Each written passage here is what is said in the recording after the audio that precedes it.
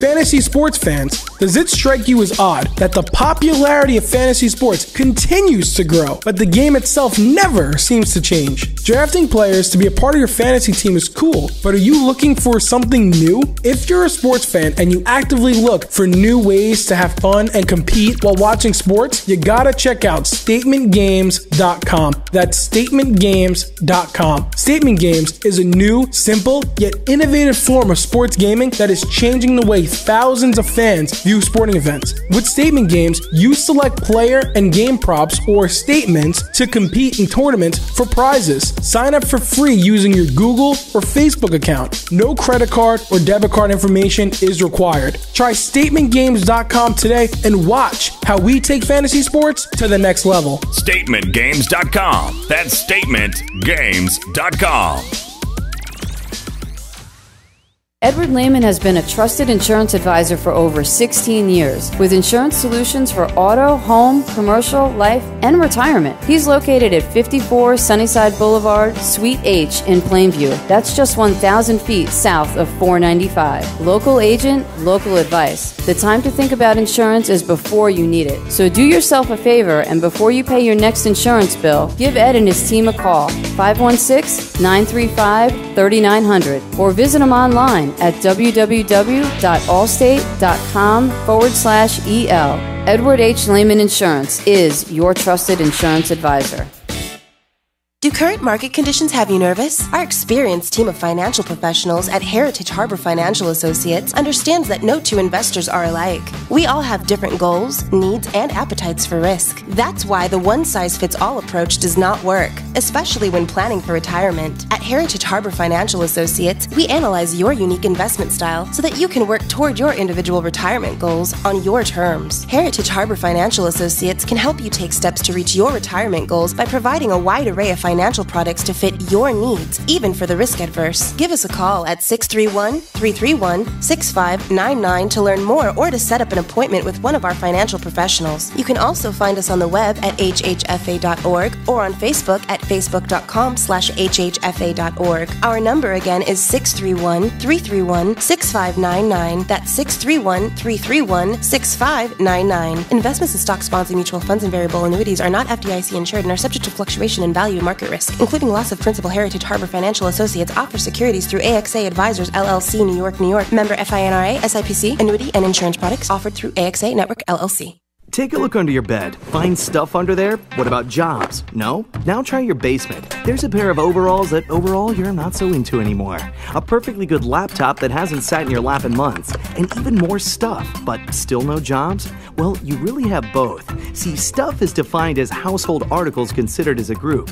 Sometimes this stuff is no longer needed. Wait, no longer needed? That can't be right. Because remember those jobs you were looking for? Those are really needed, and they're the stuff inside your stuff even inside that winter coat that moved with you to Phoenix. Our job is to unlock those jobs, and it starts when you donate your stuff to your local Goodwill. Here's how we do it. When you donate to Goodwill, we sell your stuff to provide job training for people right here in your community. So just by teaming up with Goodwill, you help create jobs. And isn't that worth parting with the leftover keytar from your 80s cover band? Goodwill. Donate stuff, create jobs. Find your nearest donation center at goodwill.org. A message from Goodwill and the Ad Council. Dear John, I was hoping it wouldn't come to this, but you've left me no choice. I'm leaving. Uncontrolled high blood pressure is really serious, and lately you seem to really not care. I've been there for you since day one, and I know you think I'm gonna keep ticking, but no, my friend, I can quit whenever I want. Why can't we get back to the good times? When we were more active and ate more healthy foods, and you checked on me every once in a while. Is that too much to ask? I don't want to leave, but unless you stop ignoring me, what else am I supposed to do? Remember, when I quit, you quit. Sincerely, your heart.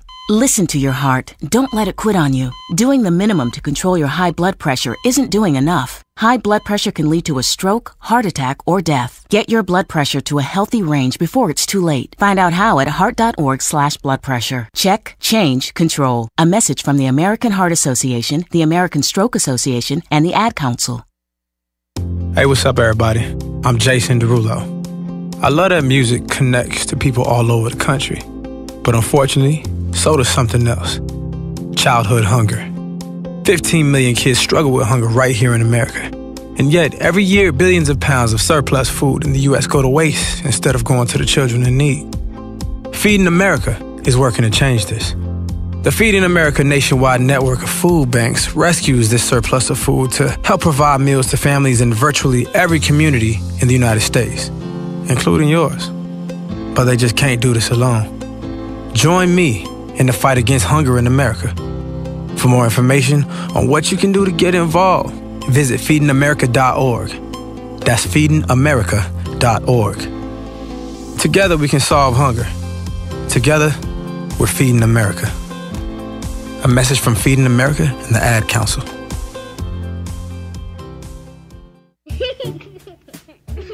Hey everyone. You know, let's all stop what we're doing right now and take a moment. That felt good, huh? Just like that, we had a nice special sort of moment together. Of course, they don't all need to be quiet moments to be special. They could be loud moments, goofy moments, sporty moments, dorky moments. Moments where we talk or walk or just hang out. It doesn't really matter. They all count.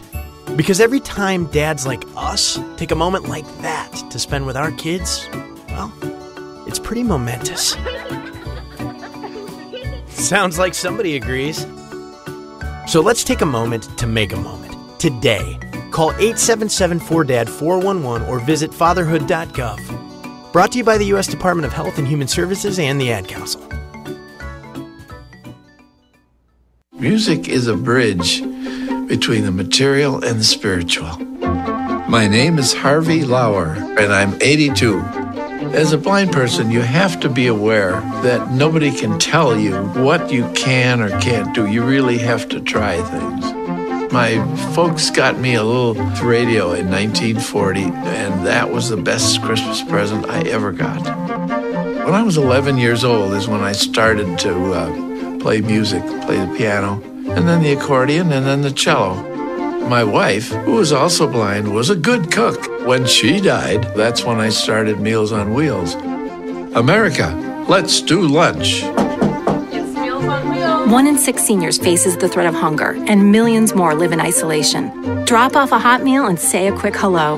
Volunteer for Meals on Wheels by donating your lunch at letsdolunch.org. This message brought to you by Meals on Wheels America and the Ad Council.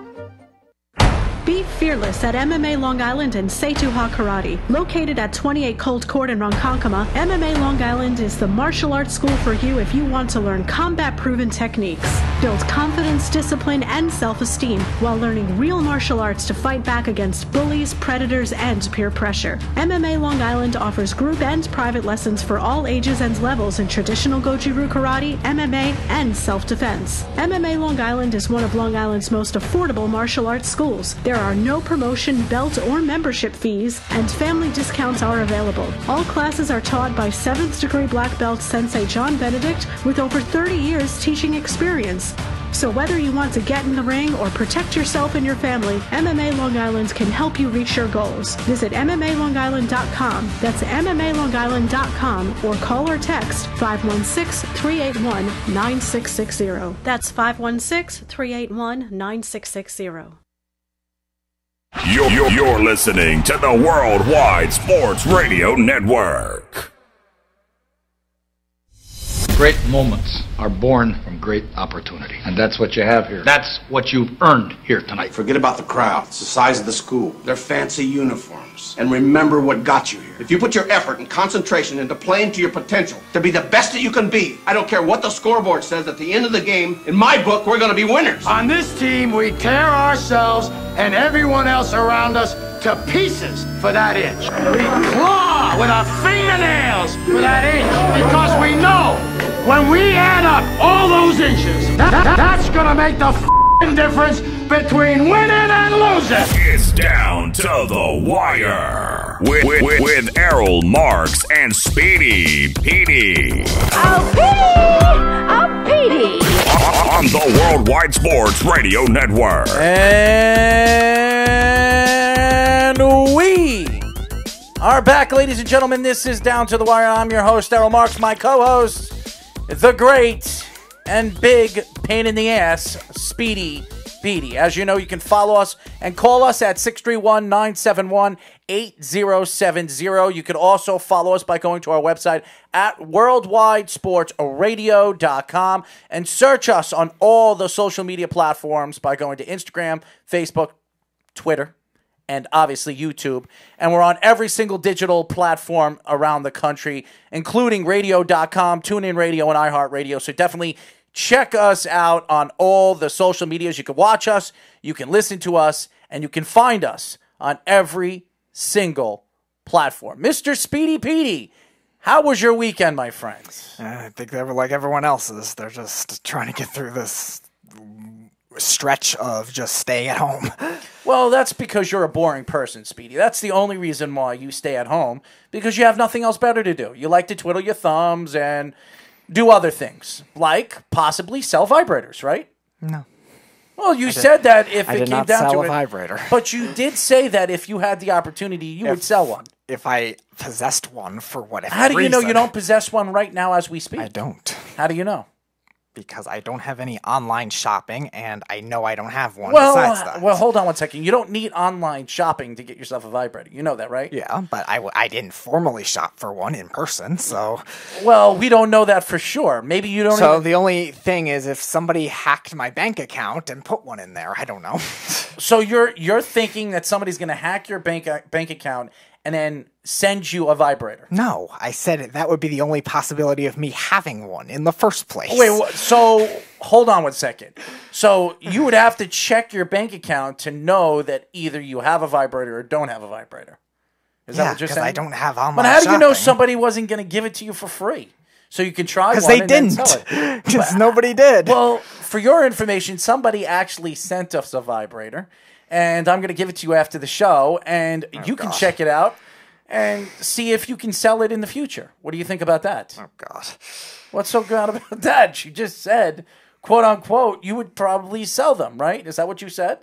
Yes, at the right price. At the at the right price of what? You're making money by selling it. Yes, I know. Anyways, ladies and gentlemen, uh, we are going to have a special guest at 620.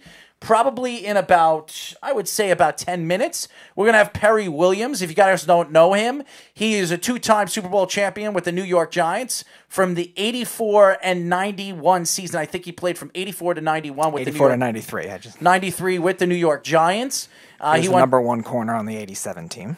and he's a two-time Super Bowl champion. He did play under Bill Belichick and Mr. Bill Parcells. So we will get into what his thoughts were with uh, Bill Belichick and Bill Parcells, playing with Lawrence Taylor, playing with uh, Carl Banks, and some of the great players that we saw over the years with the New York Giants.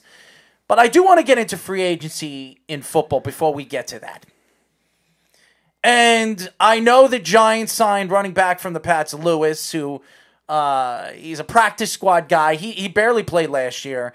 He wasn't a guy that really played for the Giants. And, and the Giants are making small moves now. They're not making big moves. I know Jadeveon Clowney was a big name on their radar, but it seems like They'll he's have to getting pay a little extra for them to get him. yeah, he he's he's asking his price is is pretty between it's pretty much between 20 and 21 million dollars. That's what he wants. He wants to be one of the highest paid pass rushers in football even though in his numbers and what you've seen in his numbers are not what you call elite numbers for a defensive lineman that you pay. Yeah, and with the Giants' circumstance, they're going to have to outbid two teams that were playoff teams last year. It seems like the most likely candidates now are either the Titans or the Seahawks, going back to the Seahawks. And Rivera making a move again. He brings in his ex quarterback who took over for Cam Newton last year, Kyle Allen. I think this is a good move for for somebody like the Redskins because the Redskins right now they bring in um, who did they bring in the Redskins besides Kyle Allen? I think they brought in somebody else. Not a quarterback.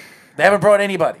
I don't think they brought in a quarterback. Well, they have Haskins there, so they, You're they don't need to. So they have Haskins over there as their starter and Kyle Allen as their backup. I, I do believe that if a particular quarterback does fall to them in the first round, I could see the Redskins making a move and bringing in a quarterback. Now, I do believe that Haskins had a very good second half last year when he mm. came in. And he played a little bit better as the team started figuring things out and the players started figuring out the quarterback on where he likes to throw the ball, where he likes to deliver the ball, his delivering point. I mean, that's these are important you know statistics that you watch when a quarterback plays, especially when it takes a young quarterback to figure things out on a football field. But I thought Dwayne Haskins played very very well in the second half last season. Uh, he played better than a lot of these young quarterbacks that we've seen in the last couple of years come into the league. Uh, Josh Allen kind of fell apart in the second half this season. He played very well in the first half, and he kind of fell off a little bit in the second half, and he fell off in the playoffs as well. Even though he made some fabulous throws in the first half of the playoffs, he fell apart in the second half, and, and then obviously lost in the overtime. But uh, there are quarterbacks that did not look very, very good in their sophomore year, and we all know Baker Mayfield did not look good. Uh, Lamar Jackson was the the MVP, and and what he, we saw last year was a development that we didn't expect from a quarterback. And I, again, Kyle Allen, who took over for Cam Newton, played very, very well as a backup quarterback. And who could who could be the future start future starting quarterback for the Redskins if Haskins does not provide what they think he's going to provide this coming season? That'll be tough though, because the Redskins, outside of Terry McLaurin, really have nothing when it comes to offensive talent. So you're not going to be able to rely on Christian McCaffrey like you did in Carolina. We have talked about for the we have talked uh, about the Cowboys a lot.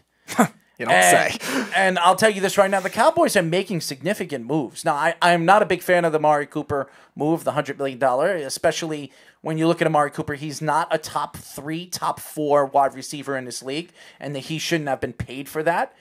But they're adding big, big players right now for less money. Right now, they brought in Ha Ha Clinton-Dix for four million dollars. That was a good move for Very their move, secondary. yeah. And now they're bringing in. It looks like uh, Mr. Defensive Tackle Poe, who is a, a good defensive tackle, Mm-hmm. can clog up the middle and do a lot of things over there. They're going to bring him for cheap too. So That's nice because their run defense was ranked, I think, 22nd last year. so bringing in Poe uh, as a backup, possibly starter uh, for this season for the Cowboys, adds to that defensive line, a big defensive line that has played well as far as pass rushing is concerned, but they couldn't stop the run. So I'm very intrigued to see if this move goes down, and if it does go down.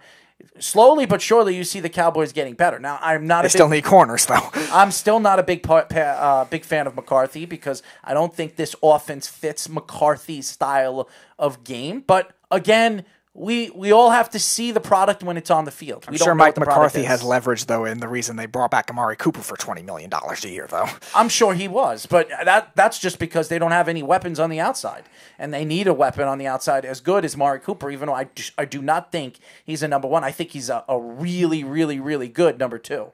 But again, the Cowboys are making significant moves, moves that you wouldn't expect from this team and this organization because over the years they couldn't land these players because they were too expensive to bring in. Now they're affordable guys that you can put there in those positions. So I, I like what I see so far with the Dallas Cowboys. As far as the New England Patriots, it's been a bad about a week and a half for the New England Patriots and the New England Patriot fans.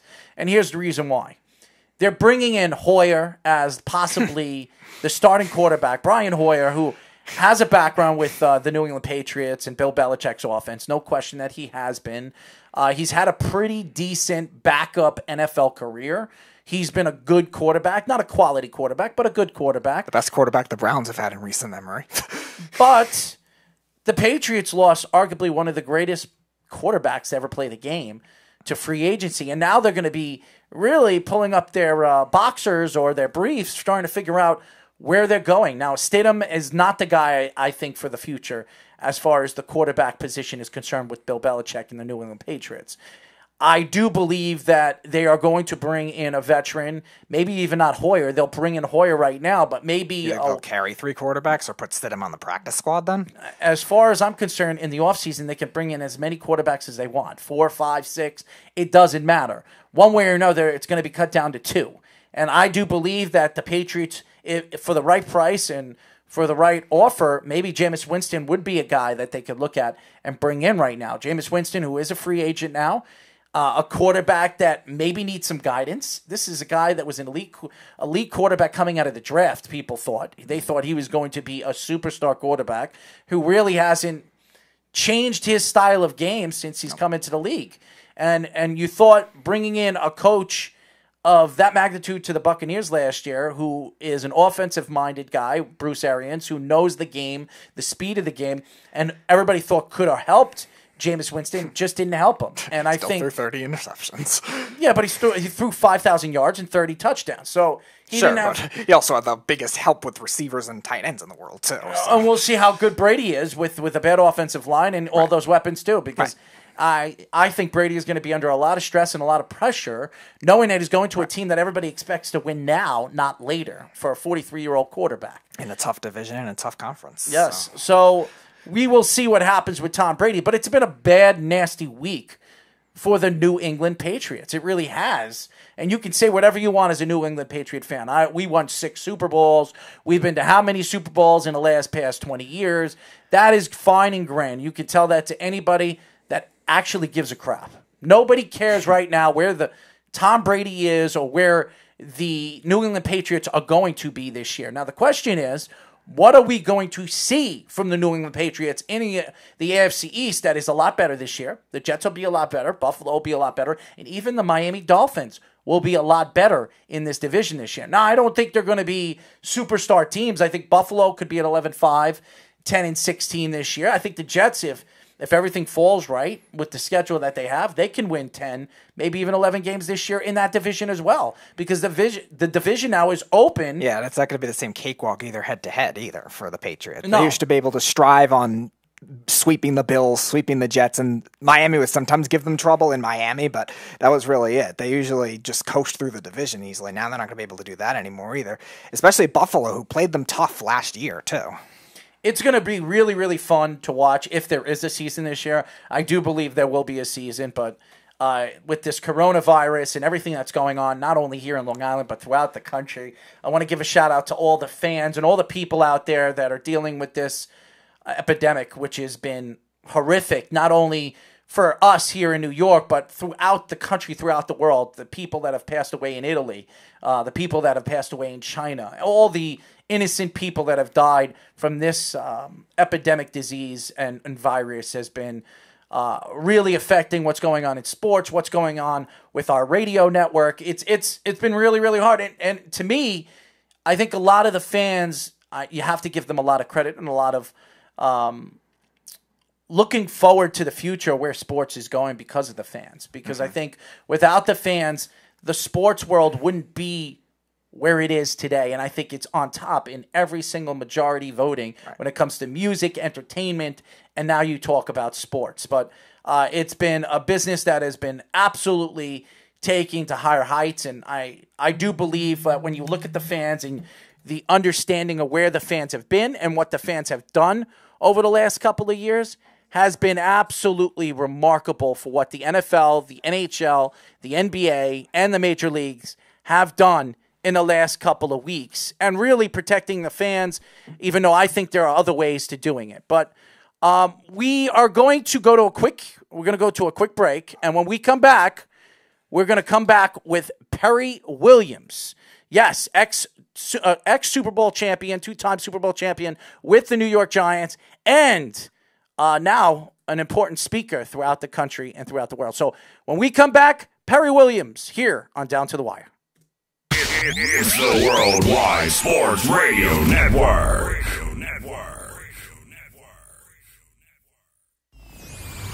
Attention, fantasy sports fans. Does it strike you as odd that the popularity of fantasy sports continues to grow, but the game itself never seems to change? Drafting players to be a part of your fantasy team is cool, but are you looking for something new? If you're a sports fan and you actively look for new ways to have fun and compete while watching sports, you gotta check out statementgames.com. That's statementgames.com. Statement Games is a new, simple, yet innovative form of sports gaming that is changing the way thousands of fans view sporting events. With Statement Games, you select player and game props or statements to compete in tournaments for prizes. Sign up for free using your Google or Facebook account. No credit card or debit card information is required. Try statementgames.com today and watch how we take fantasy sports to the next level. StatementGames.com. That's StatementGames.com. Ranger Station, Ranger speaking. Hi, um, I'd like to report a bear hug. Uh huh. Okay. Well, we were building a bonfire, and I, I saw some, like, dry brush and leaves around, so, you know, I, I said to move the bonfire somewhere else, and out of nowhere, Smokey Bear shows up and hugs me. So you noticed some wildfire hazards and moved your bonfire to a safer location. Yeah. Yeah, that's Smokey, all right. He likes when people help prevent wildfires. It hits him close to home. Not everybody gets the hug, my friend. So that's pretty special to get a hug from Smokey Bear. Ha, so it was him. Hey, guys, I told you it was Smokey. Okay, well, congratulations, my friend. And thanks for calling. There are many ways to prevent a wildfire. Learn how you can do your part at smokeybear.com. Only you can prevent wildfires. Sponsored by the U.S. Forest Service, Ad Council, and your state forester. Hope you enjoyed your meal. And I just want to say, he's lucky to have a brother like you. Lucky? Caring for my brother is far from easy.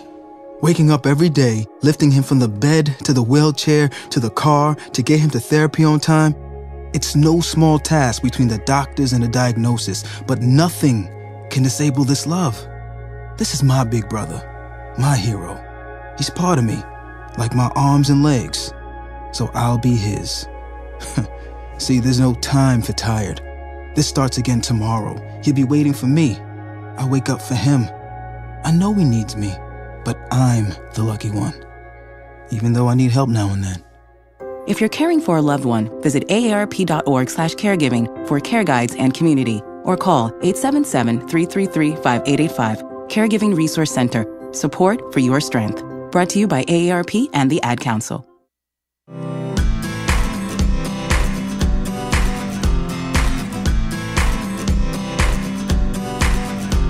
People been saying to your friend, get a different face. And posting on their super ugly. The things they say to them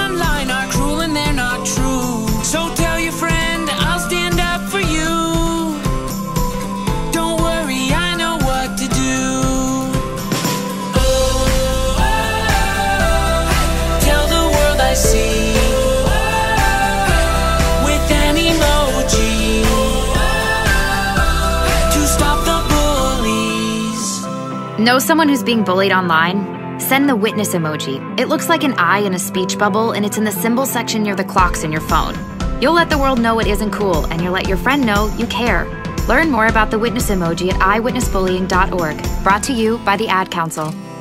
It's the Worldwide Sports Radio Network.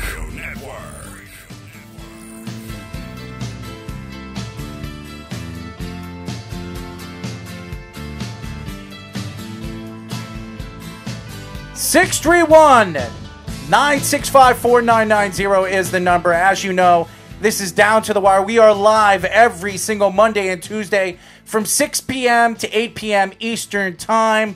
And as you guys know, we told you we were going to have a special guest on the phone, and we have him on the phone.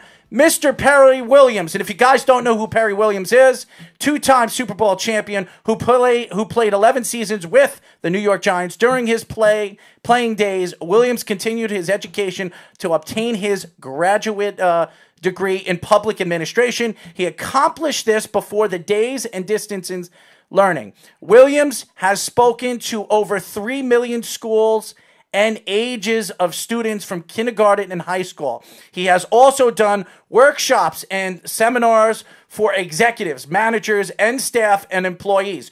Williams has a distinction of being the only athlete to be a keynote speaker at the Pentagon. He addressed 350 special intelligence officers. Currently, Williams is the director of sports management of Long Island University. What's going on, Mr. Williams?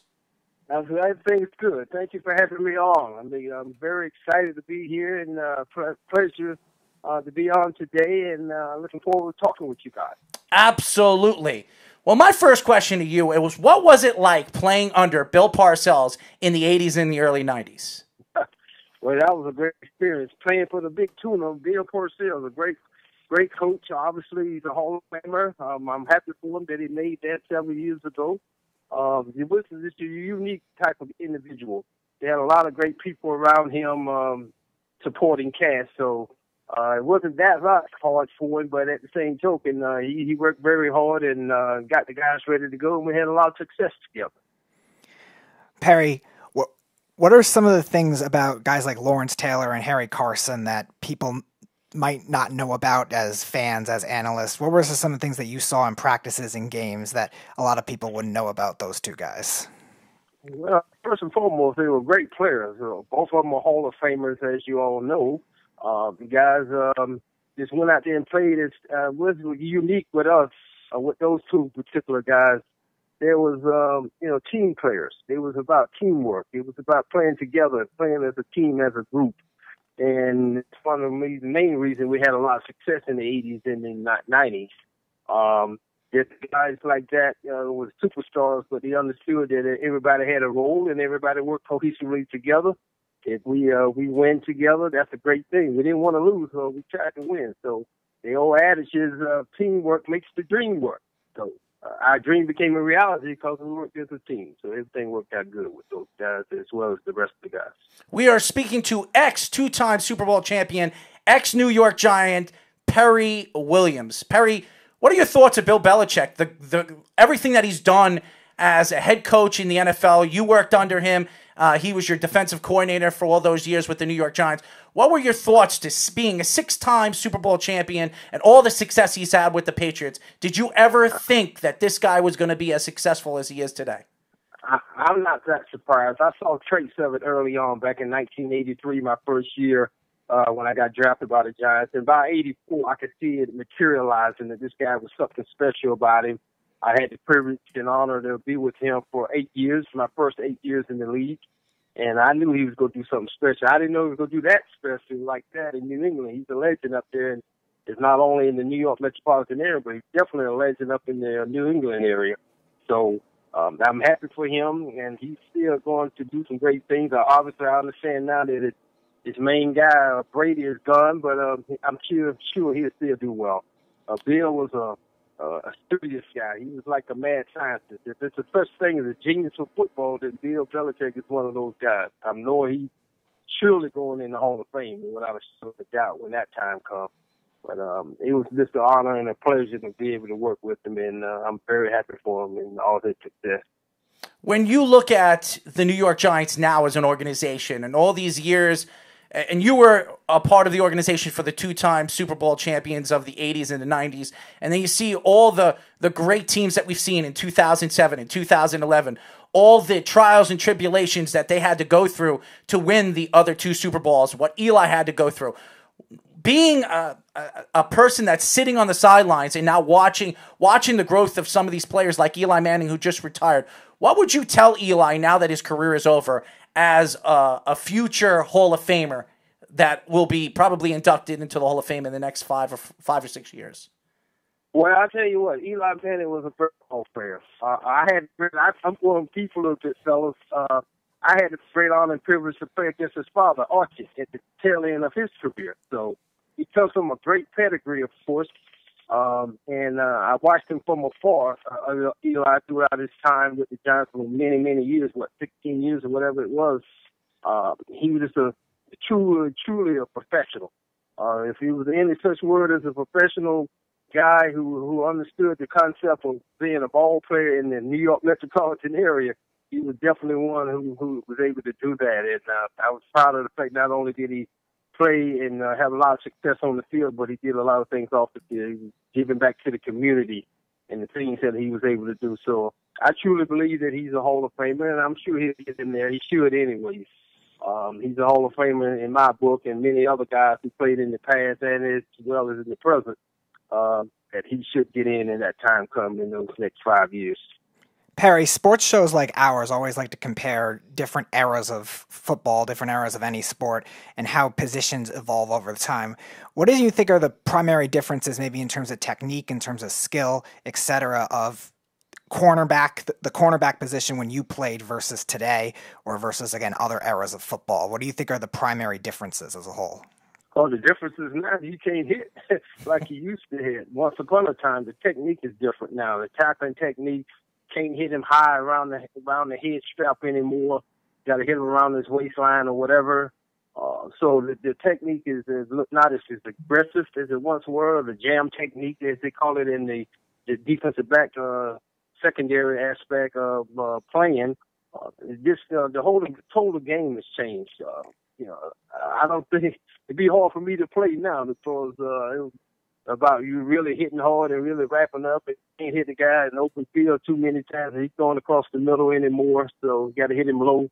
Uh, but uh, the way I was taught, you're supposed to hit the guy high um, and uh, wrap up. And but it's changed. The, the game has changed, and I understand it's changed for the betterment of uh, safety for these guys. There's a lot of injuries going on. It's no, it's no secret. that It is uh, the CTE. Uh, you know, nobody want to get that, but unfortunately, in the name of the game is uh, playing rough. It's a barbaric game. It's a tough game, but uh, you have to realize again um, that you know it can't. Anything can happen. But uh, I think overall, the game you're trying to make it safe to a degree, but at the same token, it's still a rough game and it's still a tough game. And uh, the guys, whatever's going to happen is going to happen. The way I look at it, it's like playing Russian roulette. You never know what's going to happen. Is hopefully, you come out on the better side, on the better end, and you know, in the end result. We are speaking to Perry Williams. If you don't know who he is, two-time Super Bowl champion with the New York Giants, keynote speaker. He's had an unbelievable career as an NFL player. The years that he played with the New York Giants and the success that he had with the New York Giants, 87 being the number one uh, cornerback for the New York Giants, and really his growth as a keynote speaker, a speaker to high school kids, kindergarteners, has been absolutely amazing. You bringing up CTE, and this is to me a big story, and and it's been a big story for the NFL, and they're trying to figure out ways to protect players. All the different things that we've seen on all different networks uh, talking about what the NFL needs to do and what the NFL has done in the last couple of years of Roger Goodell. What are your thoughts with some of these ex players that have gone through all the trouble that they've had with? Uh, uh, well, uh, I'm very saddened to hear. I really didn't did not know that too much because I hadn't been really keeping up with football. Uh, after I left the game, I got so tied up with doing my outreach programming and doing my leadership initiatives that I kind of left football for a little while. But uh, but just to find out that over these last 20, uh, 10, 15, 20 some odd years, a lot of these guys are starting to suffer, and I did not know that until recent times. Uh, a lot of these guys with CTE and the other crippling elements, uh, elements that they have. Uh, a lot of guys that I know play against are crippled now. A lot of them on a walker, like you know, all kind of different things that is going on. So uh, I'm happy that NFL is doing a lot of things. I know they just had a new CBA collective bargaining agreement yep. uh, uh, contract came out, and that's going to benefit all of us and the guys who played in the past as well as myself. So I appreciate that opportunity as well that they're going to help make sure they help everybody. Uh, that, I think that should be the case because those guys from 40s and 50s or whatever, even back in the 30s, they was pioneers for yesteryear. So those kind of people, I know a lot of those men are probably deceased now, but the guys who play, I guess I would say in the 60s or 70s and 80s on up, of course, so you want to take care of guys. So you guys kind of help pave the way to what is the uh, NFL is at now. I think they're what 15 or 20 billion dollars a year. Mm-hmm. I mean, that's no chump change. That's nothing to sneeze at. So uh, to help these guys out there, that, that's the, that's the more righteous thing to do, I believe. Perry, I want you to explain or compare players today from players from your generation? Well, the, the my generation uh, was hard nosed guys. You had a lot of great players uh, in that era. That's in the '80s and and the early, in the early '90s when I was there. I, I went through a litany of great guys. You know, I had the privilege of going against the Earl Campbells and the Chuck Muncies of the world, John Riggins.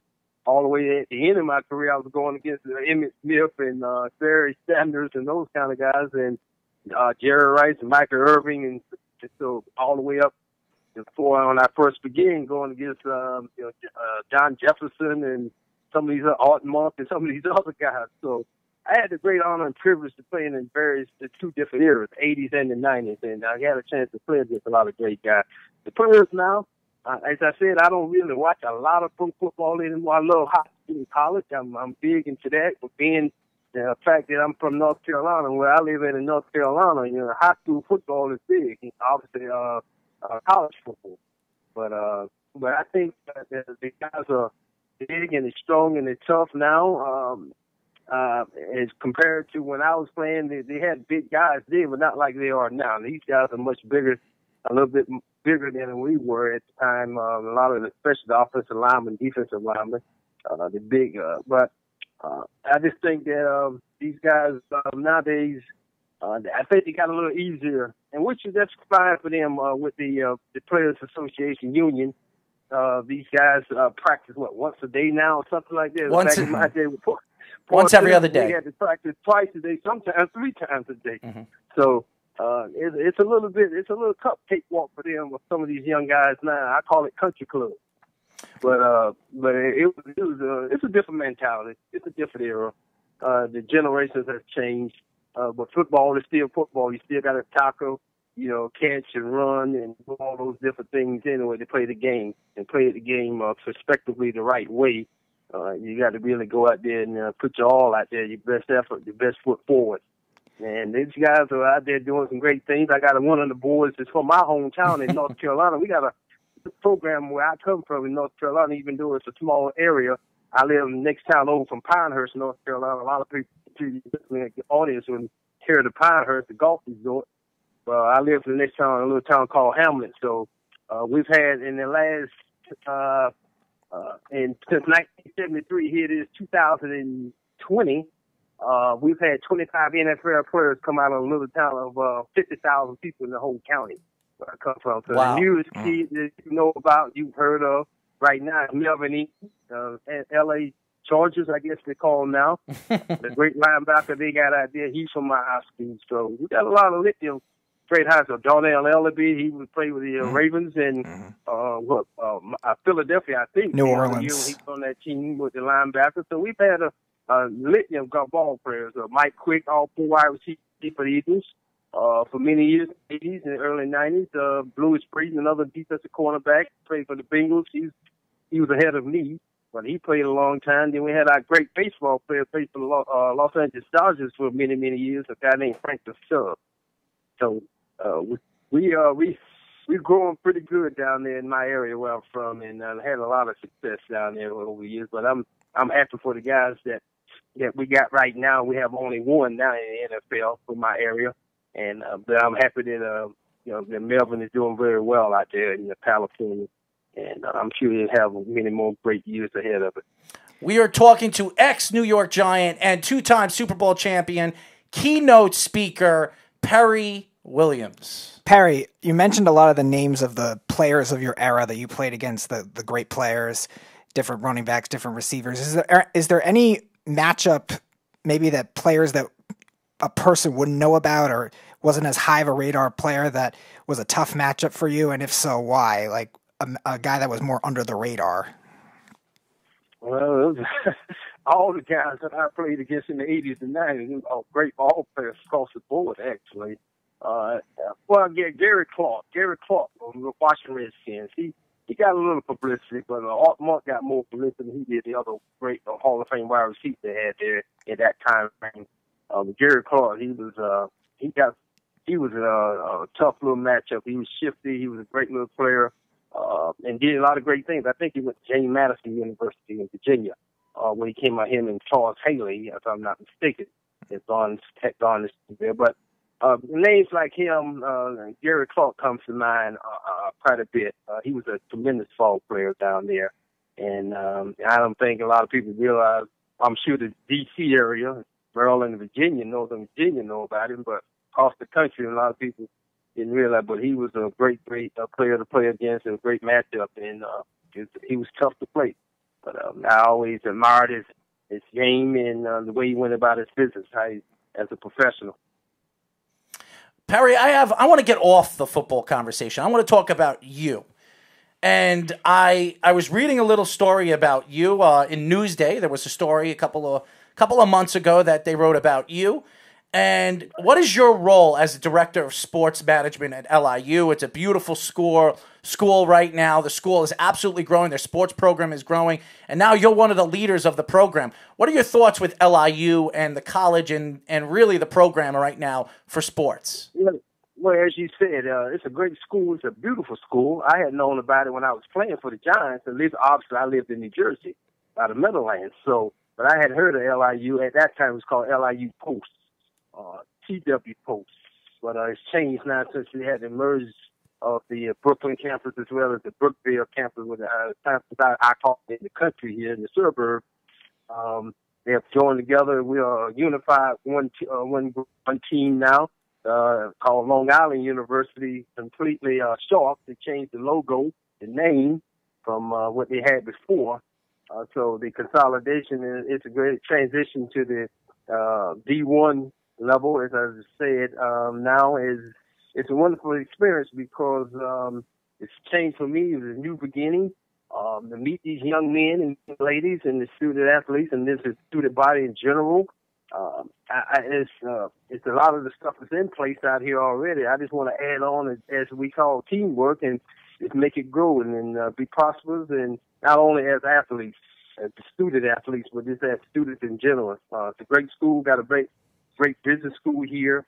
Uh, we just got a great school across the board. Uh, across the board. Uh, the business school is under the I'm under the umbrella of the business school. The College of Management. Uh, we have one of the top uh, premier business schools in the country.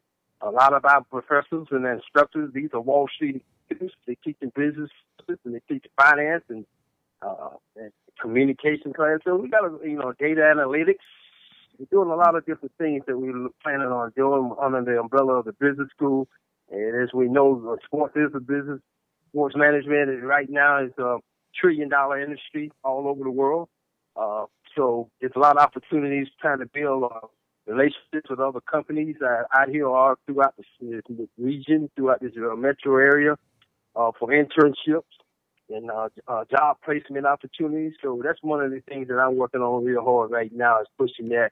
I also I lecture a couple of classes, uh, the introduction to sports management class, and then I also have the uh, psychology of sports class that I lecture. So um, I'm, I, I, I, I enjoy doing that with the students. Uh, I have a nice, nice enrollment that we got. We got over 50 students. We just started the program. That's amazing. Uh, this past year, so we we up to about 52, 53. So my goal and my objective, hopefully, we get it up to 150, 200 someday or more. Uh, just that's like anything else, fellas.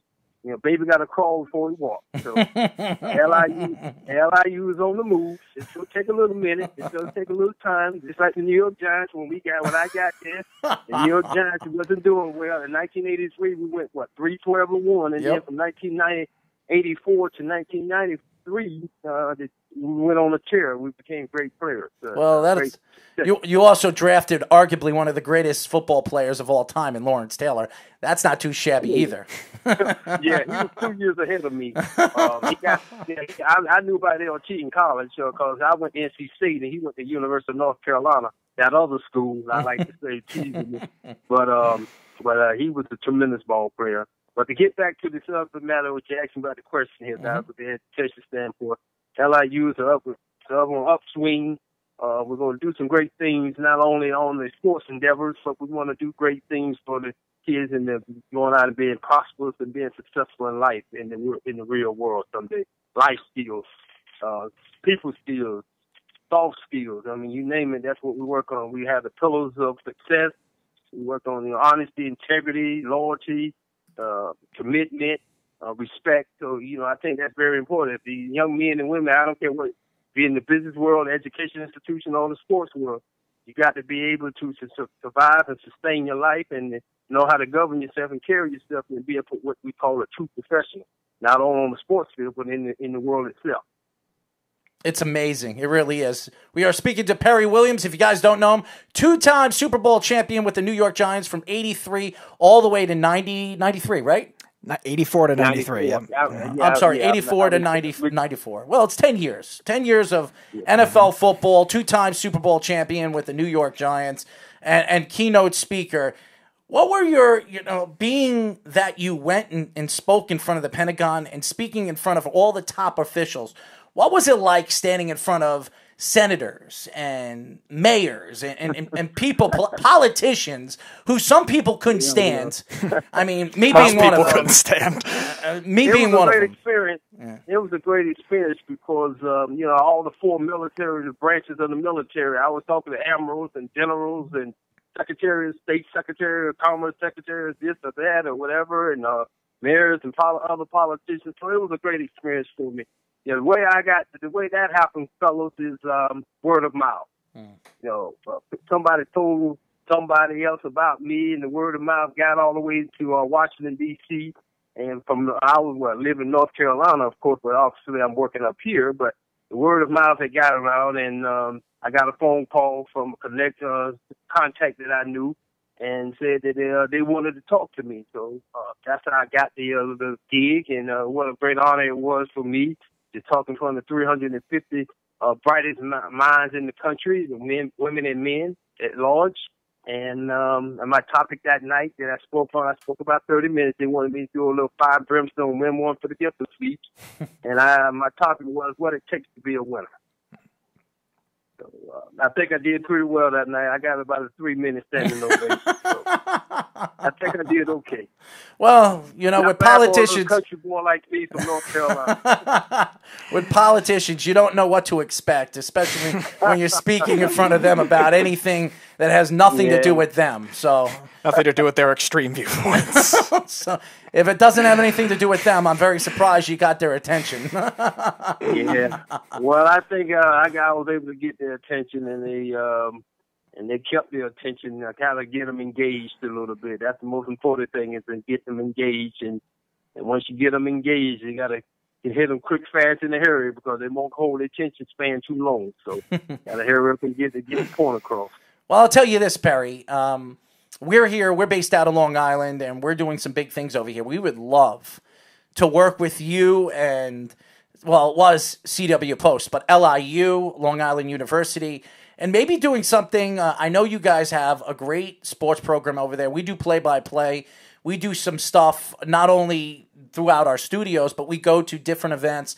Uh, we we do a lot of um, live shows throughout different parts of the country. We've been to Foxwoods, we've been to Mohe- Mohegan Suns, we've been to all the way at Atlantic City. We would love to do live shows and do some interviews when it comes to the coach, the players, and get them more involved with not only sports from Long Island, but sports around the country. And we have some big things that we're going to be announcing very, very soon. And we would love, love to do some some work with LIU. Well, fantastic. Well, that's that sounds music to my ears, and uh, the more the merrier. Never get too much. You know, get, get too much of that wisdom. Well, don't tell that to Lawrence Taylor. That we can get and get all the help we can get, and uh, that's what it's all about. It's about networking. That's one of the main emphasis I put out to all the students all across the board, across the, both universities, because I'm also the FAR of the uh, university. Something I had never heard of. What the president met with me, he said, "I you the FAR now." I said, "The FAR, which is the faculty athletic representative. I'm like the liaison for both campuses, the Brooklyn campus as well as the Brookville campus." Well, what I'll do, what I'll do is I'll reach out to Clifford. He'll give me all your information, and we'll actually uh, uh, swap emails, and we'll do we'll conversate, and then we'll do something together. I would really like to work with you guys.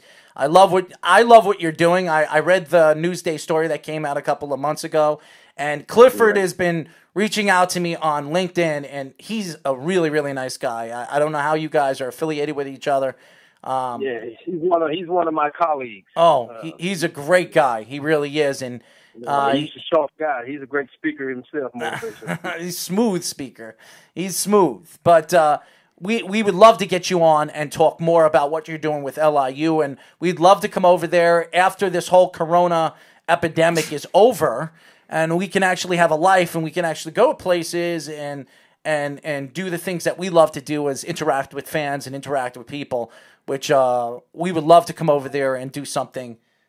Oh, we lost him. We lost him. We lost him. But if he calls back up, we'll we'll get him back on. Um, but that's uh, Perry Williams, uh, ex Super Bowl champion, two time Super Bowl champion with the 1984 to 1993 New York Giants. Uh, very, very nice guy. Really is. Why don't we go to a quick break? When we come back, we'll get more into what we really have to get into when it comes to sports at 631 965 4990. This is Down to the Wire, and we'll be back after this. It's the Worldwide Sports Radio Network. Edward Lehman has been a trusted insurance advisor for over 16 years with insurance solutions for auto, home, commercial, life, and retirement. He's located at 54 Sunnyside Boulevard, Suite H in Plainview. That's just 1,000 feet south of 495. Local agent, local advice. The time to think about insurance is before you need it. So do yourself a favor and before you pay your next insurance bill, give Ed and his team a call 516 935 3900 or visit them online at www.allstate.com forward slash EL. Edward H. Lehman Insurance is your trusted insurance advisor. It's the Worldwide Sports Radio Network. You're, you're, you're listening to Down to the Wire on the Worldwide Sports Radio Network. 631 965 4990 is the number to call. And we lost Perry, but Perry got, we finally got him back on. Thank you for uh, calling us back, Perry. I want to finish up. Uh, I, I really appreciate you calling the show uh, and, and talking about all the great things that you've been doing for LIU and what you have done really to take a, a school like CW Post and LIU to higher heights right now as a director of their sports uh, their sports program. But one question I have for you before we let you go, and it's been a question that I've been wanting to ask ex NFL players. We have a lot of ex NFL players that do call the show and we do interact with, but I want to know your opinion, knowing that you play the defense position. And, and you were speaking about how the game has completely changed. And we've argued the points on the GOAT, who's the greatest quarterback to ever play the game. Now, uh, mine. Mine has always been and always will be Joe Montana because of what he did in a time where the game was completely defensively played and how he transitioned the game from defense to offense. And yes, they had great teams, and yes, there wasn't a free agency market like it is now. But what are your thoughts on who is the greatest? And, and it doesn't have to be a quarterback in your eyes. And I know you play with Lawrence Taylor, and some people will argue it was Lawrence Taylor. Who was the greatest NFL player of all time? Well, the greatest NFL player with my opposition, and not, uh, I, of course I'm biased when I say Lawrence Taylor, which he was the greatest player. But the greatest opposition I played against is the guy you just called, Joe Montana, by far the greatest. Do you think Joe, Joe Montana was a surgeon? I call him the surgeon.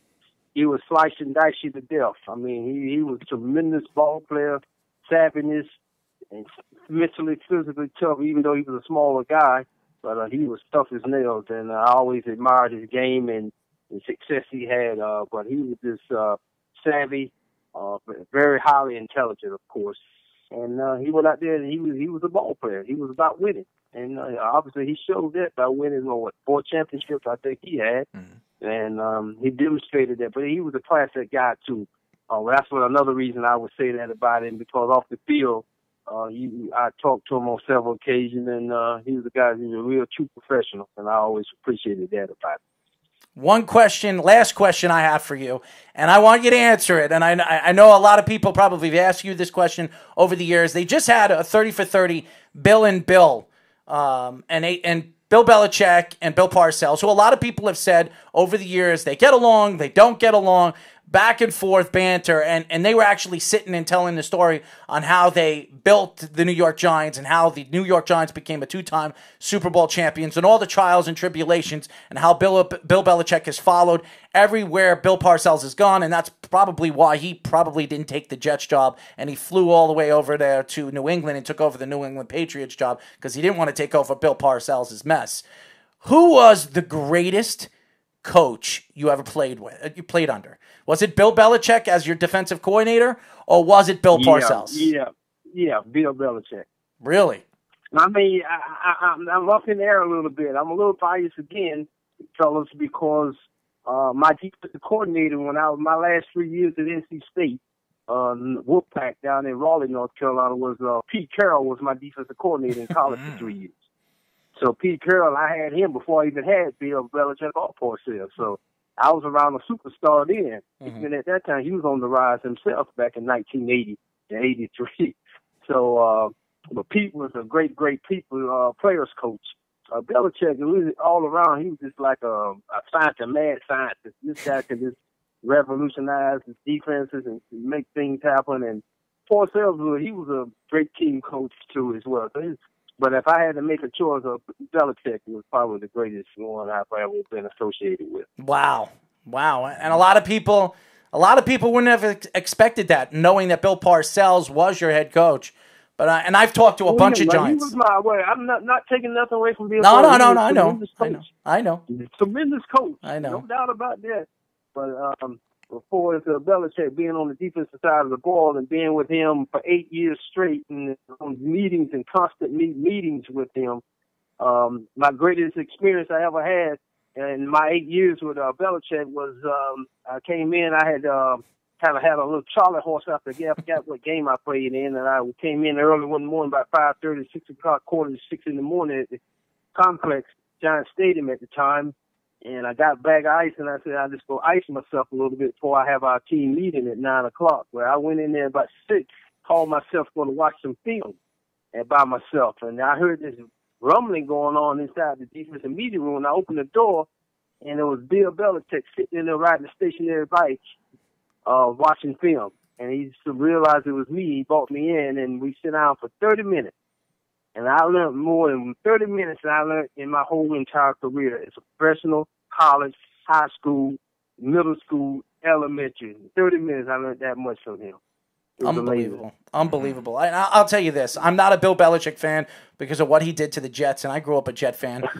Uh, So I, I know I know what it feels to be pretty much shut down by arguably one of the greatest coaches to ever coach in any professional sport.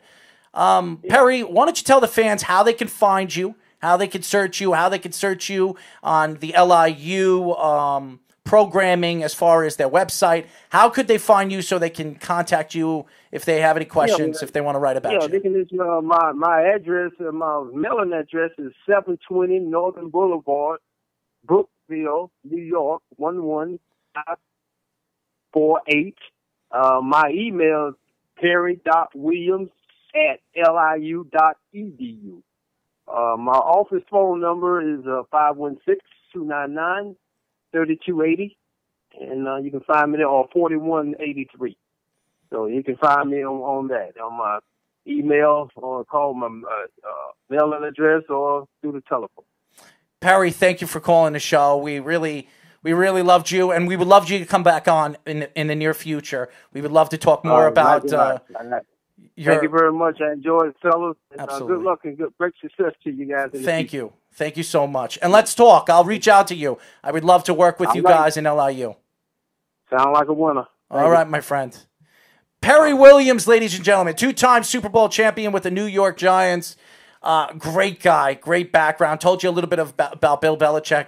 I asked him. I asked him the question: Who did he think was a better NFL coach? Being being that he was under Bill Belichick and Bill Parcells, two arguably of the two arguably of the greatest coaches of NFL history. I wanted to know what he thought. Who was the better coach? And he said Bill Belichick, which I'm very, I'm very surprised. But uh, when we come back, we'll get more into the week in sports. I've got a lot to talk about when we come back here on Down to the Wire. It's the Worldwide Sports Radio Network. Do current market conditions have you nervous? Our experienced team of financial professionals at Heritage Harbor Financial Associates understands that no two investors are alike. We all have different goals, needs, and appetites for risk. That's why the one size fits all approach does not work, especially when planning for retirement. At Heritage Harbor Financial Associates, we analyze your unique investment style so that you can work toward your individual retirement goals on your terms. Heritage Harbor Financial Associates can help you take steps to reach your retirement goals by providing a wide array of financial products to fit your needs, even for the risk adverse. Give us a call at 631 331 6599 to learn more or to set up an appointment with one of our financial professionals. You can also find us on the web at hhfa.org or on Facebook at facebook.com slash hhfa.org. Our number again is 631 331 6599. That's 631 331 6599. Investments in stocks, bonds, and mutual funds and variable annuities are not FDIC insured and are subject to fluctuation in value and market risk, including loss of principal. Heritage Harbor Financial Associates offers securities through AXA Advisors LLC, New York, New York. Member FINRA, SIPC, annuity and insurance products offered through AXA Network LLC. This is Mario Andretti. You know me as a race car driver, but I'm also a Meals on Wheels volunteer.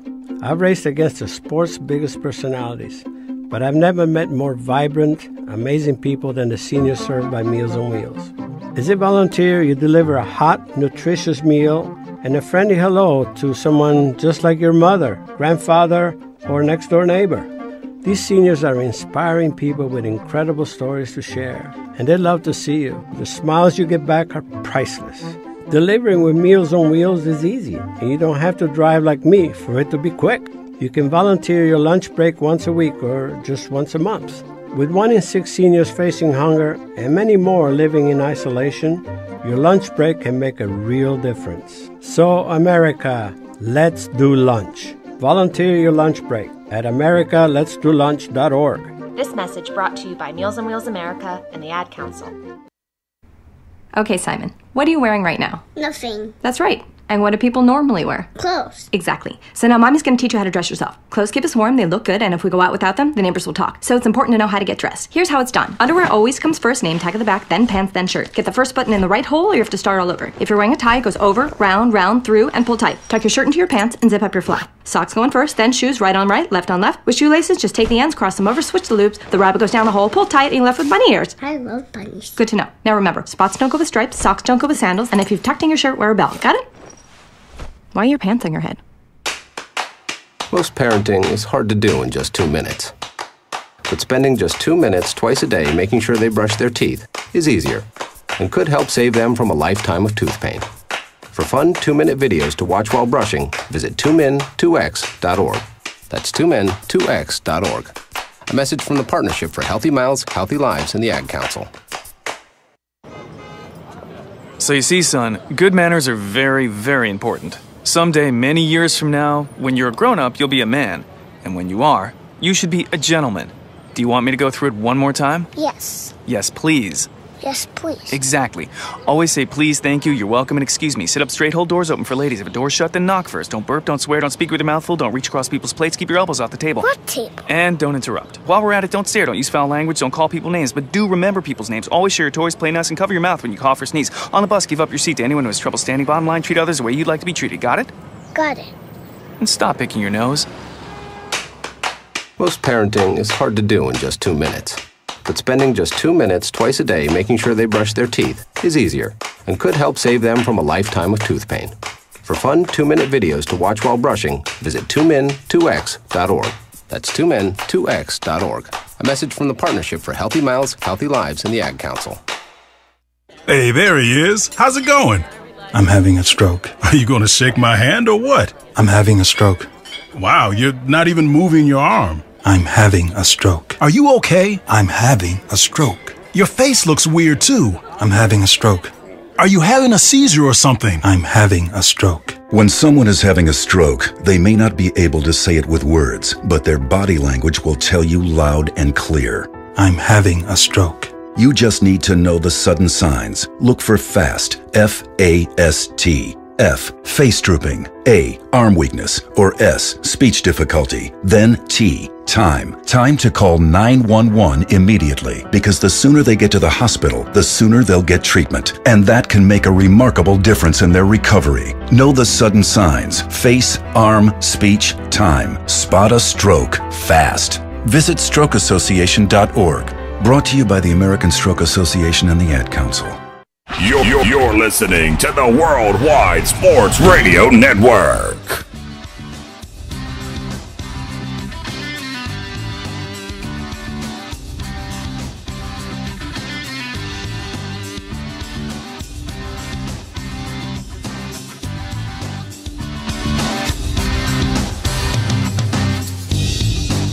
Six three one nine seven one eight zero seven zero is the number. As you guys know, you can call us. Remember, you could also go to our website at www.worldwidesportsradio.com. You can follow us on all our social medias by going to Twitter, Instagram, Facebook, Snapchat, and YouTube.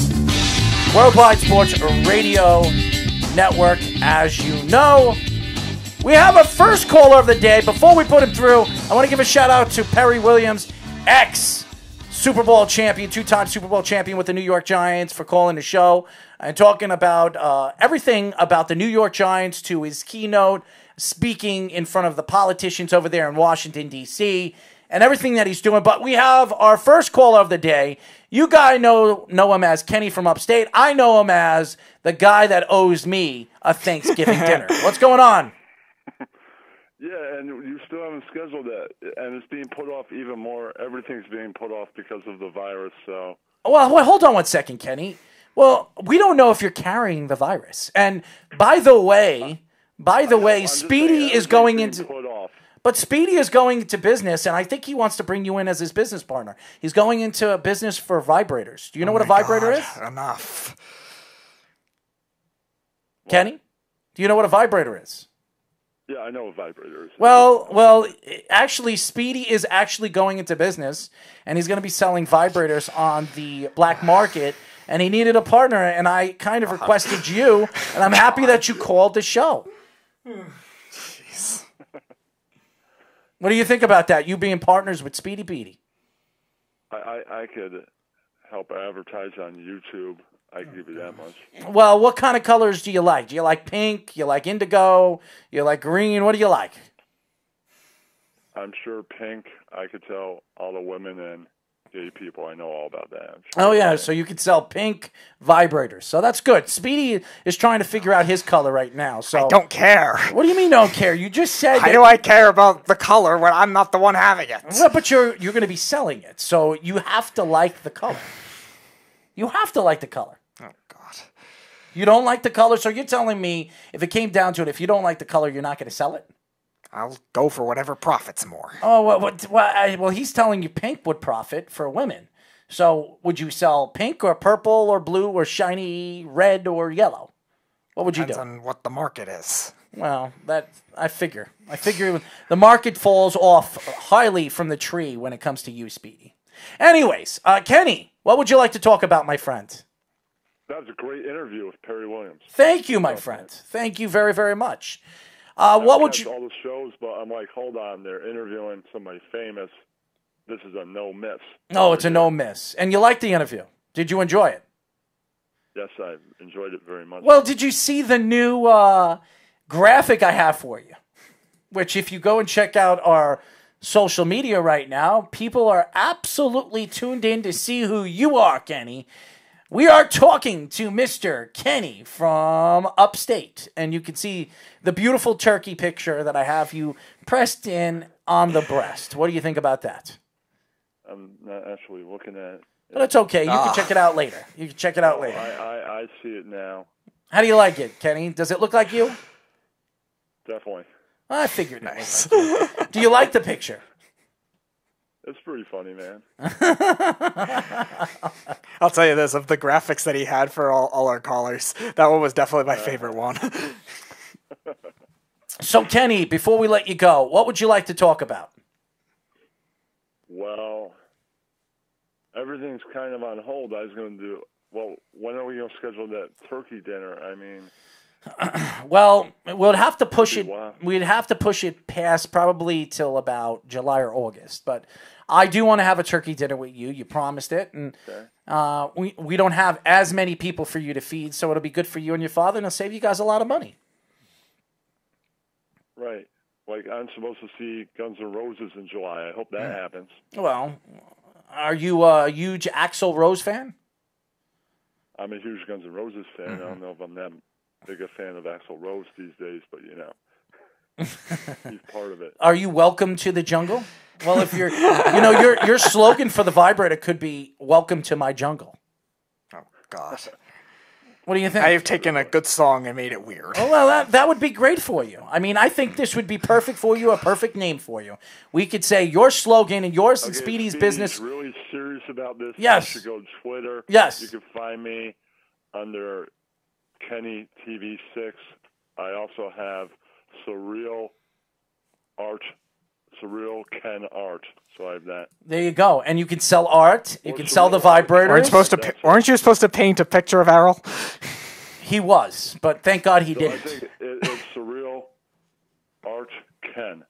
Okay. So you can look me up on those. You can send me a message if you're serious about the vibrator thing. Yes, we can work it he's out. very serious about it, and he's just wa- trying to work in what kind of colors he wants to sell. And I think you guys combining together and being welcome to our jungle and have the vibrator vibrator coming out of a jungle background. I think this would be a great sales tactic for you guys to sell in the near future. I, I think you guys could be very wealthy.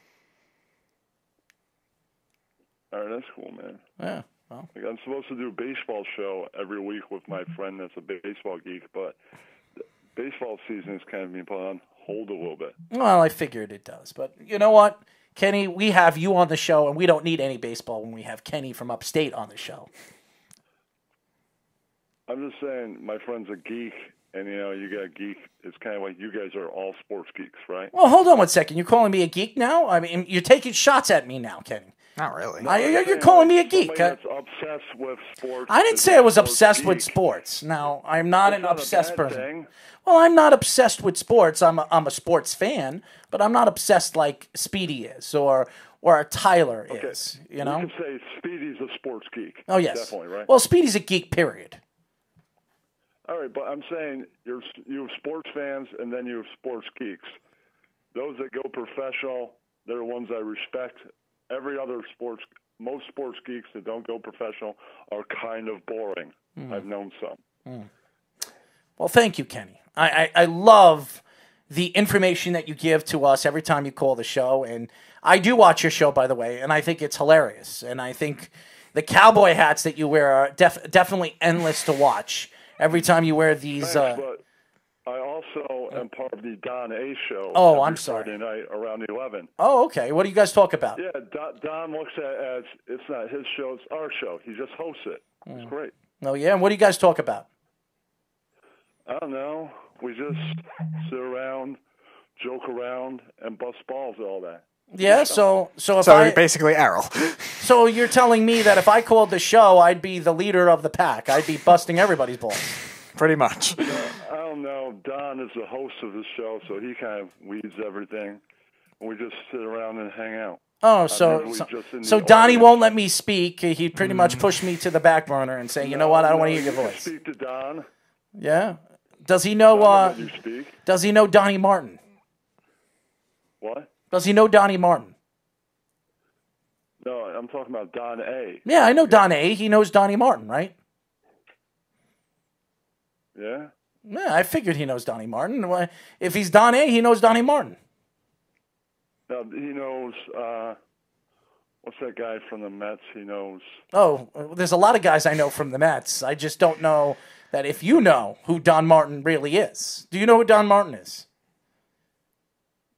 No, not off the top of my head. Well, you know who Don A is, and that's all that matters. But thank you for calling the show, Kenny. I'd say he knows. uh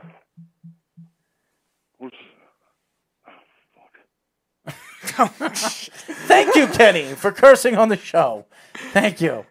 Ah, Kenny, Kenny, Kenny. Who Oh, he cares? knows- He knows Lenny Dykstra. That's who All right, no. So, so why don't we get Lenny and him on the show at the same time, and I, I'll bust both of their balls. Actually, I Talk about his listen that. upcoming boxing match. I would listen to that. Don A had Dice call him to the show. Andrew Dice Clay. Really? Well, tell Donnie I want to get Dice on the phone, and I could bust his balls as well.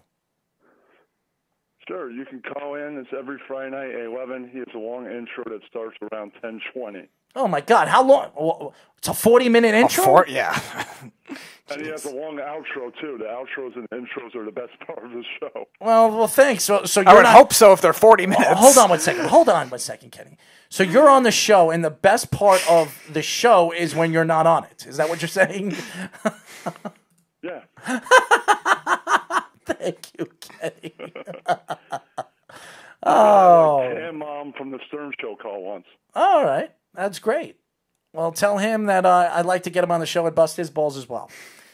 So Well, you can call. I will. You know what? I am going to call in the show. Anybody can call. I am going to call in the show just to bust both your balls. How's that sound? And then you can say Errol Marks was on your show. Okay? All right. We got it? We're good? You can call in and you can say who you are. I'm going to say who I am. I'm going to say that I'm selling, I'm helping sell uh, uh, the Jungle Fever, the Jungle, the Welcome to the Jungle tour of vibrators for you guys. What, uh, what do you think about that? That's pretty good. Well, thank you. Well, I'll put a giant sign on yours. How's that sound? Give you a nice little symbol on yours. All right, that's cool. All right. As as you don't put the Jets. No, I won't. And I'll, I'll have Eli sign that vibrator for you. How's that sound? All right, that's cool. Okay, wonderful. Kenny, thank you for calling the show. Keep calling, my friend. You're awesome. All right, I'll talk to you guys later. All right, Kenny. Kenny from upstate. As you guys know, he's great. He's great for the show. He's great for everything. All right, I want to get into this particular story, and I know a lot of people aren't talking about it. And the story pretty much goes into the rules in professional sports.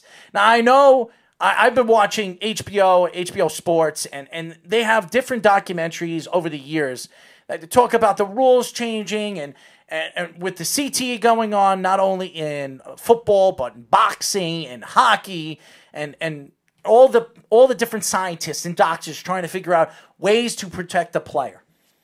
And I look at the professional sports and I look at basketball, I look at baseball, I look at hockey, I look at football. Those are the four top sports right now in all the professional sports.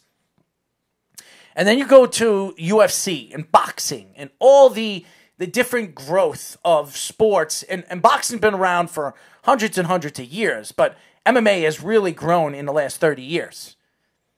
And the rules. You know, with baseball trying to train, ch- uh, try to change the rules with uh, um, the pitch clock, the pitch clock in the back of the you know in the back of the mound, and and you, you talk about the rules that you have are going to have robotic umpires calling strikes to balls You have a three batter thing now. the three batter, you know, situation, the rules, and then you go to the NFL. The rules where you can't you can't hit a quarterback lower. You can't hit a quarterback above their waist. You can't hit them below their knees. You got to hit them in a certain spot, or you're going to get a penalty, or or defensive players not be able to to grab onto uh, an offensive player like a wide receiver in the open field anymore yard, yeah. With the different style of game and how the NFL wants to open up the game and the offense. There is no two line pass in hockey anymore. The goal nets are bigger and the pads are bigger and the new equipment is completely changed because they thought the speed of the game would change and there'll be more goal scoring, which it hasn't been. And then you go with um, basketball with the rules that basketball has that they brought the the three point line a little bit in years and years ago. And and now you, you you look at it you know the game has completely changed. Now the only way you could be successful in the NBA is shooting three point shots. And and that's how the game is transitioned. There's no more uh, Michael Jordan style of games anymore where people can dominate the game in all different ways of the game. It's it's one way or another. You want to be the superstar really the the charm of the league and and you see with LeBron James and what LeBron James has done and he's not even a three-point shooter but he transitioned the game and he changed the game. Now now three superstars can want to play together to be champion. The only way you can win championships if if two or three superstars join forces in the NBA I saw something a while ago too, where I think they were tracking all the shot charts made throughout the season. I think only five percent of shots taken throughout the entire league was mid-range shots now. So it's either you go you go to the foul line, or you make a layup or dunk, or you shoot a three now. Is this good for professional sports? And I, I, I know a lot of people want to argue these points till they're dead in the ground. And I know the game is transition and the game has completely changed in all professional sports because of it. Because of the way the game has transitioned, the sports have changed. And that means fans have changed. I, I understand how the new millennials they follow players. They don't follow teams anymore, which hurts the game. It really does. It hurts the game. It doesn't hurt the player. It doesn't hurt their their product, their brand. As you know, LeBron James with uh, LeBron James Media and and what he does not only on the on the court but off the court. You you talk about Tom Brady, who now is starting to transition his his worth and, and his brand to the world because he's 43 years old and his his game is completely almost over. You know, so you look at all these superstar players starting starting to tran transition the game by building brands, as you know, with sneaker endorsements and jersey endorsements. But the NBA and the NHL and the NFL are still trying to find ways to make the game better. And is this making the game better by changing rules that have affected not only players, but organizations and the growth of the game, not only in this country, but throughout the world? Does that help the game? Has it helped the game? And I to my to my understanding of what sports are, the games and the rules should not have changed. They've only should have gotten better. Now, I understand the CT uh, epidemic and, and all the different situations that we look at as the game has changed with the hits and the different helmets that they use and the different body body shoulder pads and and, hand, and gloves and all the different things. As you know with the NFL they use these now gloves these wide receivers use these gloves mm-hmm. that actually the ball sticks. It's like a magnetic thing that sticks to their hands. Like Odell Beckham catching the ball with one hand, it makes it easier for them to grip the ball that NFL players did not have in the 80s, in the 70s, in the 60s, where I believe the wide receivers were better and more athletic and had better opportunities. And I'm not talking about speed wise because the athleticism has gotten better in professional sports, but the game, the speed of the game has changed. Who's to say that the players like Jerry Rice and Joe Montana couldn't have fit in the game like a glove like they did in the 80s and the 90s? Jerry Rice might get 3,000 yards in today's game. So, does the rules, the change of rules, help the game of football, baseball, hockey, basketball? And the answer is no, it doesn't. What it does is it opens up endorsements, it opens up opportunities for the game to grow in their eyes by changing the different rules or changing the game for the better. It has not helped the game, it's making the game worse. Worse to watch, worse to communicate with your friends about because there's really nothing to talk about. What are you going to talk about? You're going to work you're going to talk about the bad call that the referee had in the fourth quarter instead of the whole the whole game because you're worried about the rules and the rule changing and and and really what affects the game as a whole.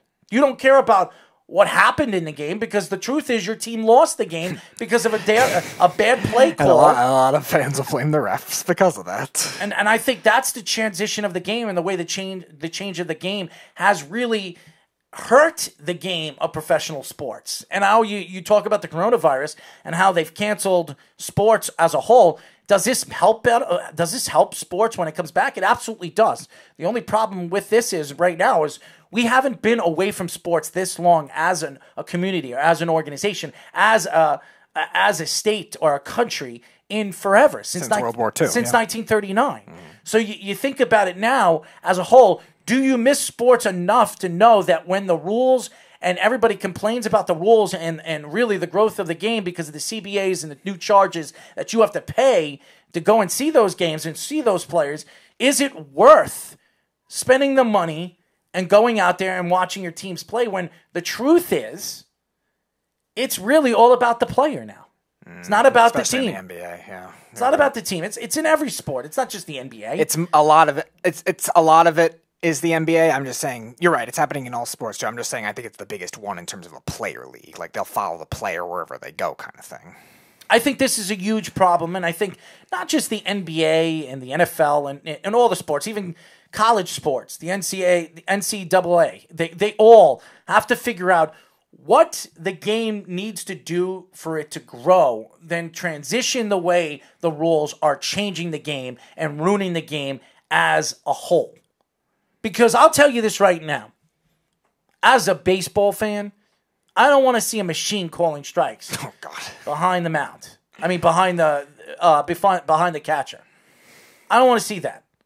You know why? Because it changes the the game, the way the game is played, the way uh, the managers are going to call uh, a hit and run, or uh, call a play, or call call a, a- an outfielder to come in to catch the ball because you don't know if it's going to be a pop up or a home run or somebody trying to drive the ball. These are all things that have changed the game, and that hasn't changed the game for the good. It's changed the the game for the bad. And I think the rule changes have affected sports, not benefited for the sports. Yeah, it's benefited through the CBAs and, and the growth of what you know what the millennials want to see. They want to see more points on the board, but because they play these fantasy games, and fantasy has completely changed everything in professional sports. There's no defensive players in fantasy unless you do very advanced leagues. Yeah, and I, I think that's a huge problem because I think defense is the most important position to play if you want to be a championship, well-renowned team. And I and I'll tell you this right now. Say what you want about the the Bill Belichick New England Patriots the last twenty years. The reason why they were so good all those years wasn't their offense. It was their timely defense in certain games, figuring things out, how to shut down the best wide receiver, the best Mm-hmm. tight end in the game, the best running back, the best player on the field. That is defensive calling. That's a defensive lot play against calling. a lot of top offenses too in those years. The Eagles, obviously the Rams, obviously they cheated for that one, but they still held. Even if they didn't, they probably still would have held them under thirty points. Obviously, uh, Atlanta, Philly wasn't as much, and then the Rams recently. A lot of those were top offenses that were in there, and the Patriots just. The way they build their team just figured that kind of thing out. Even though their stars, their bigger names, were more on offense. Absolutely. But I think the game, the transition of the game, has really changed the growth of the sports. And then we talk about the growth of women coming into professional sports with men. Mm-hmm. And I- I'll tell you this right now you're seeing women coaches coming up in the NFL, you're seeing women coaches coming up in the NBA. Eventually, women coaches are going to take over in professional sports. Say what you want. There will be two or three women in professional basketball coaching different organizations. You're going to see two or three, possibly four women eventually taking over in the NFL and coaching in the NFL. Now, how long do you think it'll take for them to become head coaches? You think? Because right, as of right now, they're all assistant coaches. The Cardinals were the first one to do it, and then it was Buffalo. I think Tampa. Actually, the Jets were the first one. Oh, they were? it. I thought it was Arizona. Okay. It was the Jets. All right, so it was the Jets, then Arizona. Mhm. And that, obviously, the Niners have one now. Then they just went to the Super Bowl. So that could help the leverage of that. So, again, right now they're assistant coaches. They're mostly offensive assistants or defensive assistants. They have a particular specialty.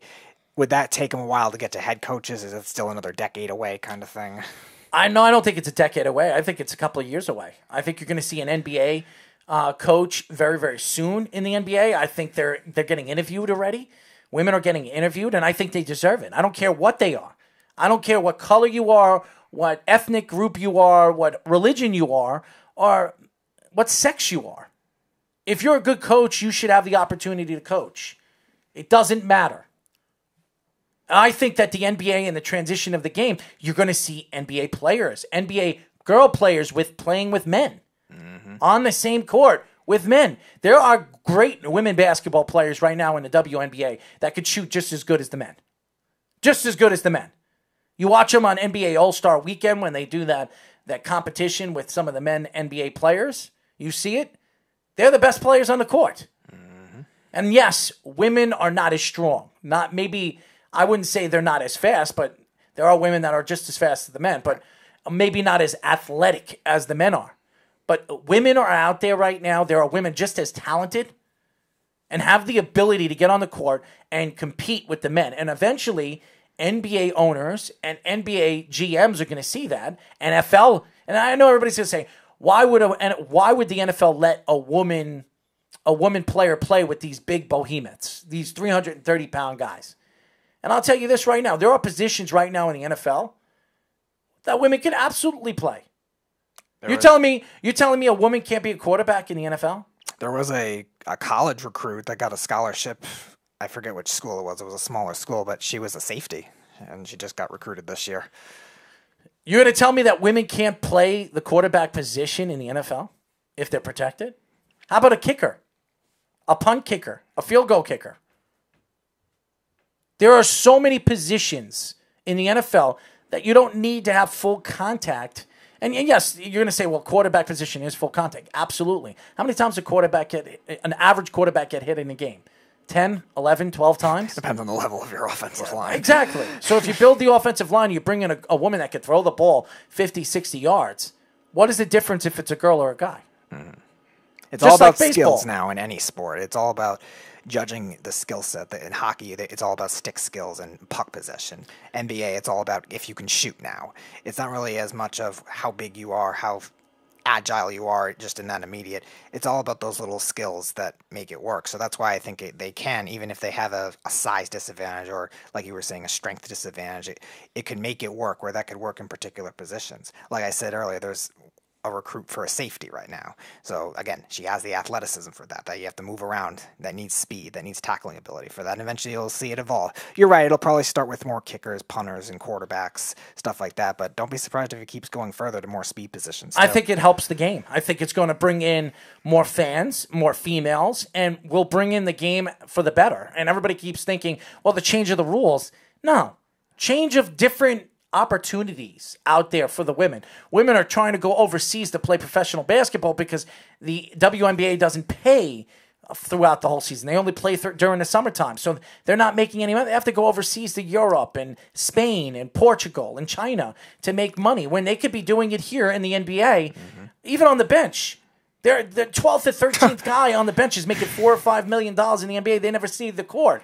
When some of these women are better than these NBA players. Let's be honest. Some of these women basketball players are way better shooter than the NBA players. so, I, again, I, it's not too far back, and I think that the NBA is going to figure that out just as much as they. I think they figured it out now as far as coaching in the NFL and the NBA. So I think you're going to see it. I think the transition, and I remember when I was a kid, the first NH, NHL goaltender was a girl, and she played for the Tampa Bay uh, Tampa Bay Lightning. And she was she a good NBA NHL player? No, she wasn't a great NHL player, and she only played like I think she only played two NHL games, but she had to be good enough to make it and be drafted by the Tampa Bay uh, Tampa Bay Lightning. So, all right, we have our second caller of the day. You guys know him as Jeff. I know him as the boat sinker. What's going on, Jeff? Dude, you guys are insane if you guys think women are going to be in men's sports. Insane. I do think that in certain sports, eventually, especially in football, because there are positions that you can play as a woman, and, and in the NBA too, there are a lot of great WNBA players that can shoot as good or better than NBA player, uh, guy NBA players. Look, by by no means am I being misogynistic. I know you're not. Or saying that they shouldn't do it or whatever. But it's been tried, right? Manon Rhéaume couldn't make it playing goalie in hockey. That's the least physical of the positions.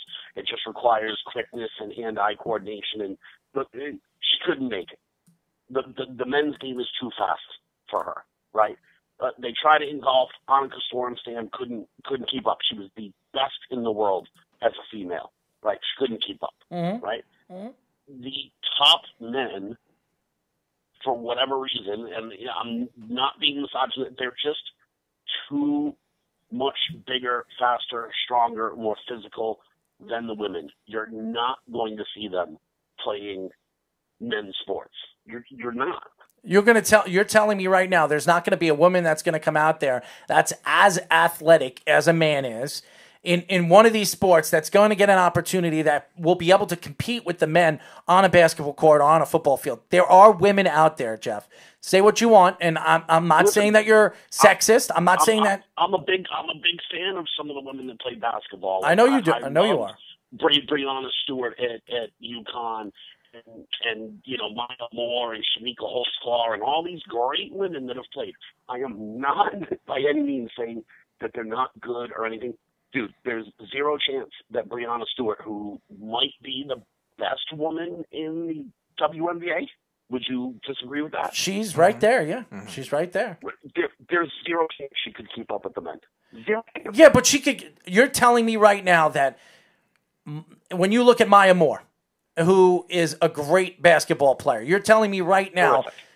You're telling me right now that she couldn't play. She can't come off the bench in the NBA in an NBA game and score seven or eight points and be worth her while playing in the NBA. No, I think she could. There's I think she can. so many quality. There's so many quality people. Like think about how many how good like the NBA is. Like, dude, what's an NBA team?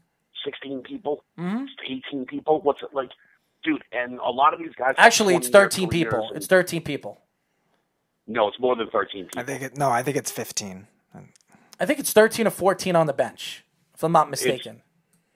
It's no the whole team. Five starters.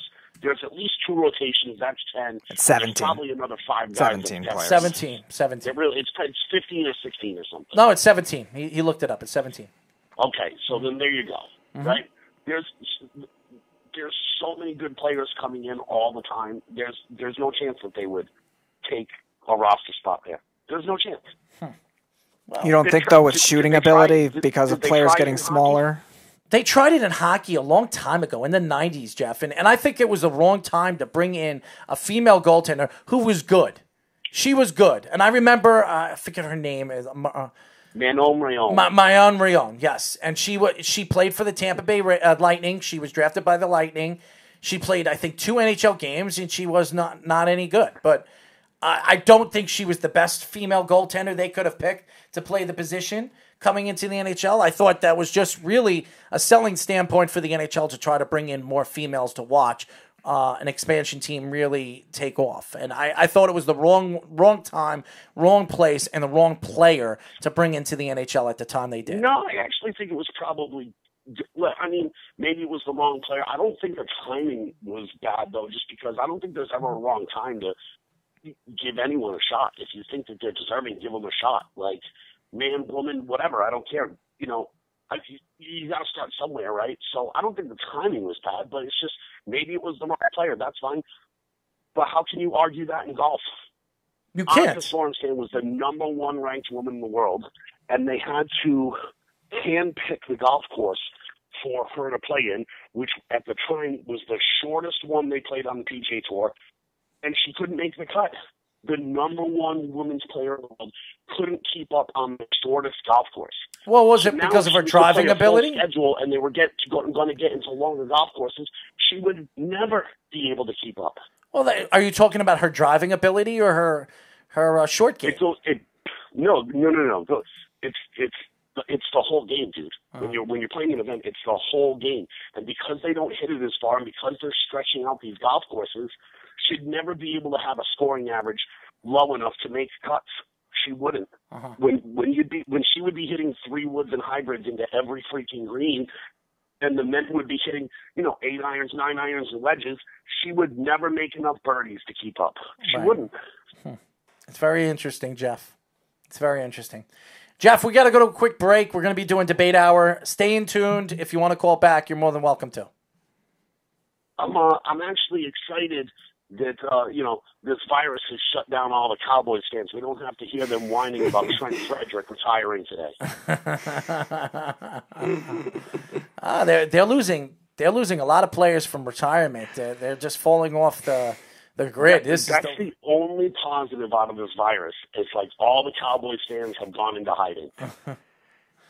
oh, Jeff. Looking at you, bees. Looking at you, idiot. He's so dumb. Oh, so amazing. Ah, Jeff. All right, Jeff. Thanks for calling, my friend. All right, Speedy, you suck. Jeff from Tampa, ladies and gentlemen. As you know, when we come back, debate hour here at the Worldwide Sports Radio Network. It's the Worldwide Sports Radio Network.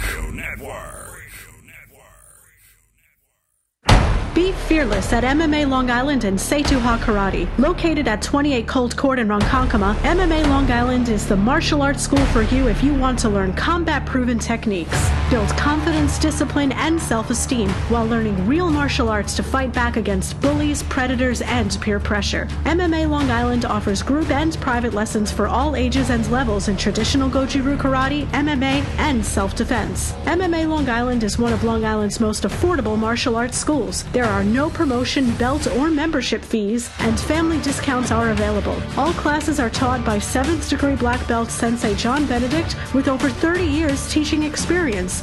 So whether you want to get in the ring or protect yourself and your family, MMA Long Island can help you reach your goals. Visit MMALongIsland.com. That's MMALongIsland.com or call or text 516-381-9660. That's 516-381-9660.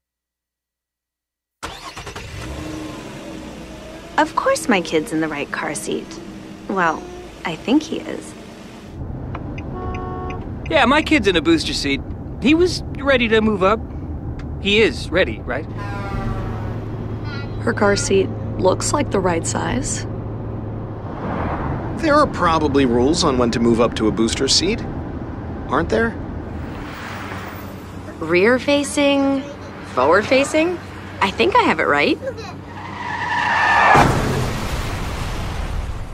Car crashes are a leading killer of children 1 to 13. Are your children in the right car seat for their age and size? Don't think you know. Know you know. Go to safercar.gov slash the right seat. I know my child's in the right car seat, or else I wouldn't get in the driver's seat. Brought to you by the National Highway Traffic Safety Administration and the Ad Council. You don't usually get a stock tip from a 16 year old, but I'm here to tell you about a different kind of stock. It's called Better Futures, a stock for social change that's not about making money. Instead, you invest to help students like me go to college. This is beyond a simple donation. It's the opportunity for America to invest in its kids and take an active stake in the future of the country. The return on your investment isn't money. What you get back is knowing you protected our potential. So one day, that potential can grow up to become surgeons and architects, executives and engineers, people who can change the future just by being a part of it. My name is Alicia, and I'm your dividend. Invest in better futures with UNCF.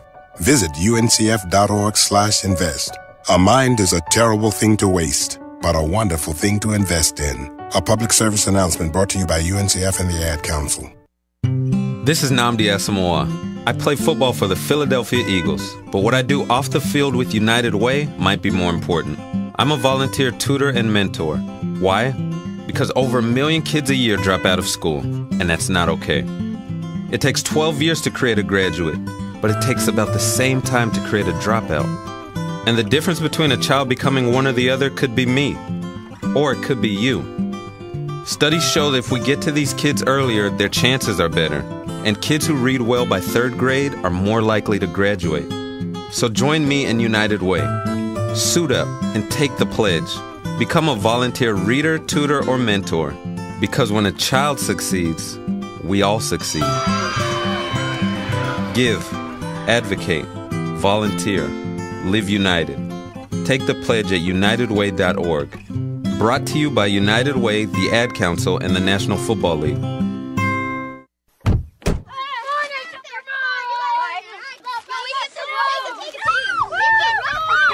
They'll challenge your authority. They'll try to break your will. They'll push you to the edge of your sanity. Because that's what kids do. But this car is your territory, not theirs. Defend it. Who makes the payments? Who cleans it? Who drives it? You do. That's who. And in here, your word is law. So when you say you won't move until everyone's buckled up, you won't budge an inch. Until you hear that click. Never give up until they buckle up. A message from the National Highway Traffic Safety Administration and the Ad Council. For more information, visit safercar.gov slash kids buckle up. Let's go inside the mind of a 10 year old. I should have worn those earrings today. I like those earrings. Gabby has those awesome earrings. I need to ask her where she got those, but that's just what she would want me to do. I'll have Michaela ask her for me. Buckle up, Sarah. Yeah, but then Michaela will be like, why don't you just ask her yourself? That's just like Michaela. Sarah, buckle up. Michaela's such a great name. I wish I was called Michaela. There's like a dozen Sarahs in my class. Hey, we're not hitting the road until you buckle up, honey. Oh, yeah, seatbelt. I forget sometimes because my brain is like busy, you know? I wonder if there's pizza at school today. Sometimes it can be tough to get through to your kids, but it's not impossible. Always make sure they're wearing their seatbelts, even on short drives. Remember, you have the keys, you have the power. Never give up until they buckle up. A message from the National Safety Administration and the Ad Council. Visit safercar.gov slash kidsbuckleup for more information. Hi, this is Terry Crews, actor, former football player, game show host, father of five, and all around big dude. I'm also an expert on drama. I know all kinds of drama. There's the good kind that comes with having a house full of kids. There's the bad kind like season ending injuries. There's the necessary kind like having an agent in Hollywood. And there's silly drama like the drama around my percolating pectorals. And then there's the drama you can skip. Skip the drama that comes with not having your high school diploma or equivalency. Find free adult education classes near you and finish your high school diploma. Visit finishyourdiploma.org. Or text diploma to 97779. Message and data rates may apply. Reply stop to opt out. That's diploma to 97779. And leave the drama to actors like me. Brought to you by the Dollar General Literacy Foundation and the Ad Council. Adopt US Kids presents Multiple Choice Parenting. Your daughter just had her first breakup. Do you A, put yourself in her shoes? How could he do this to you? And for Sheila, she, she has split ends. B, console her? Oh, sweetie, this is going to happen a lot. Four, maybe five more times before you get married. C, take charge? Got to get this all straightened out. Give a little talking to, man to man, mano a mano. Hey, Steve! Is now a good time? No? Okay, no problem. Bye. Or D, help her find a new boyfriend? I know a great place to meet boys the internet. Nice, single boys. Never mind. How about some ice cream? As a parent, there are no perfect answers. But you don't have to be perfect to be a perfect parent. Thousands of teens in foster care will love you just the same. For more information on how you can adopt, visit adoptuskids.org. A public service announcement from the U.S. Department of Health and Human Services, Adopt U.S. Kids, and the Ad Council. You're, you're, you're listening to the Worldwide Sports Radio Network.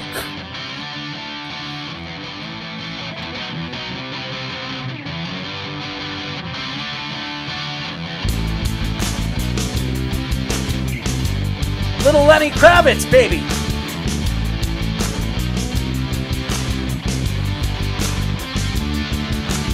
Six three one nine seven one eight zero seven zero.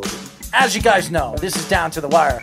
I'm your host, Errol Marks, every single Monday and Tuesday from 6 p.m. to 8 p.m. at night. My co host, Speedy Petey, the big vibrating champion. Oh, God. Speedy Petey. Vibrating champion. The vibrating champion, yes. the champion for all champions. Our Speedy Petey is sitting right next to us as we speak. Thank you for uh, coming in on time, and it's not because Corona with a lime. So, uh, anyways, we have a lot to talk about for the rest of the show, and as you know, this is the part of the show that everybody looks forward to, and we know it as Debate Hour. Here we go. Th- th- This is the Debate Hour.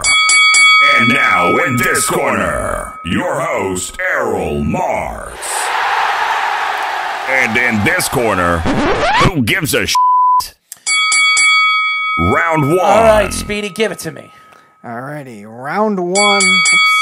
Round two. Oh, we going to round two already? No, we're we not. Round one. We're going to round one. Ah, which figures. which NFL player would you compare most in today's game to Lawrence Taylor? Aaron Donald or Khalil Mack? Go ahead, Speedy. Alrighty, so I'm going to take Khalil Mack in this instance. I mean, I, I- just the positional fit, is just too obvious. It's not about the position; it's about the player and and what he does Right. on the defensive line. Right. Like But again, Lawrence Taylor did. Right, I understand that, but I'm, I'm saying in terms of similarities, in terms of how they got to the quarterback, I think it's very similar. Both are versatile guys. Lawrence Taylor could line up in a lot of different spots and rush the passer. He was intimidating no matter where he came from. The same thing with Khalil Mack. He can move around. He's very good in hybrid defenses. When Jack Del Rio was coaching there, he was He's best as an outside linebacker, but he can play defensive end. He can move around. He's been in both the 4 3 and the 3 4, and he's done very well in that. He made a Pro Bowl at two different positions. And again, Lawrence Taylor, while he never did that, he was dominant pretty much everywhere you could put him. He could he could A gap blitz. He could blitz from the outside. He could line up as a defensive end. There's a lot of different things. And again, both were very fast and explosive to the outside. Aaron Donald is fast for his size. There's no doubt about that. He's very fast for a guy who's 300 pounds, a little over 300 pounds. But again, Khalil Mack is just fast, period, explosive, period, like Lawrence Taylor was. I think it's just a, a more direct comparison. Both have great moves in terms of a variety of moves. Not that Aaron Donald doesn't, he absolutely does, but in terms of, again, where they played, how they get to the quarterback, I think Khalil Mack is definitely a more direct comparison than Aaron Donald. It's Aaron Donald. Just because of the pure dominance at the line of scrimmage, when he's in the game, it changes everything for the Rams, defensively and even offensively for teams to plan against the LA Rams. Now, six years, 72 sacks. He's been the most dominant defensive lineman in football for the last six years. When you look at Lawrence Taylor and what Lawrence Taylor did his first six years, Aaron Donald, you can argue, has had a better first six years than even Lawrence Taylor. The game was different, the speed was different, and, and really the rules were different. So obviously, advantage goes to Lawrence Taylor because of what Lawrence Taylor could do with any kind of rules in the game, and just his just elite presence on the field. But what Aaron Donald's done really for the Rams and really the growth of what this defense has and has been since he's come into league has been extraordinary. And and to me, it has nothing to do with the coaches because you've seen the, the great defensive coordinators and the defensive minds that have been over there. One of them play, actually is the defensive coordinator for the Jets, and the other one who's just left them, Wade Phillips, who who's practically one of them main reasons why they got to the Super Bowl about a couple of years ago. So I, I, I'll look at this and I'll argue the points over and over again. Who is more comparable to Lawrence Taylor?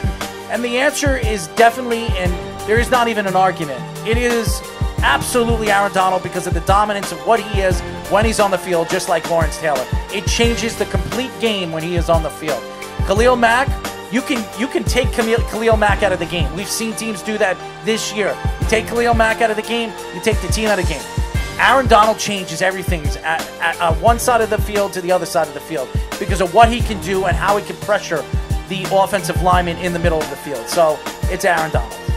Alrighty. Now we're on to round two. Round two. So, staying with football, which quarterback will have more success in their first season with their new team? Tom Brady or Cam Newton, who, like Errol was saying earlier, probably going to be a free agent now with the Panthers bringing in the XFL kid and now bringing in Teddy Bridgewater. Cam Newton set to be a free agent. Now, again, there's a lot of unknowns to both of this. I'm going to take Tom Brady right now just because I know what situation he's in. Cam Newton has potential to be better because if he does sign with a good RPO type coach, he could definitely fit. The problem is a lot of those spots are already vacated where that kind of thing can happen. Again, I don't know where that would be at the moment because a lot of those quarterbacks are younger quarterbacks. So, what we know with Tom Brady, who he has Bruce Arians, who I think is a very underrated coach. I think he's the best coach in the league right now who hasn't won a Super Bowl. He's worked well with quarterbacks in the past. He's worked well with older players in the past.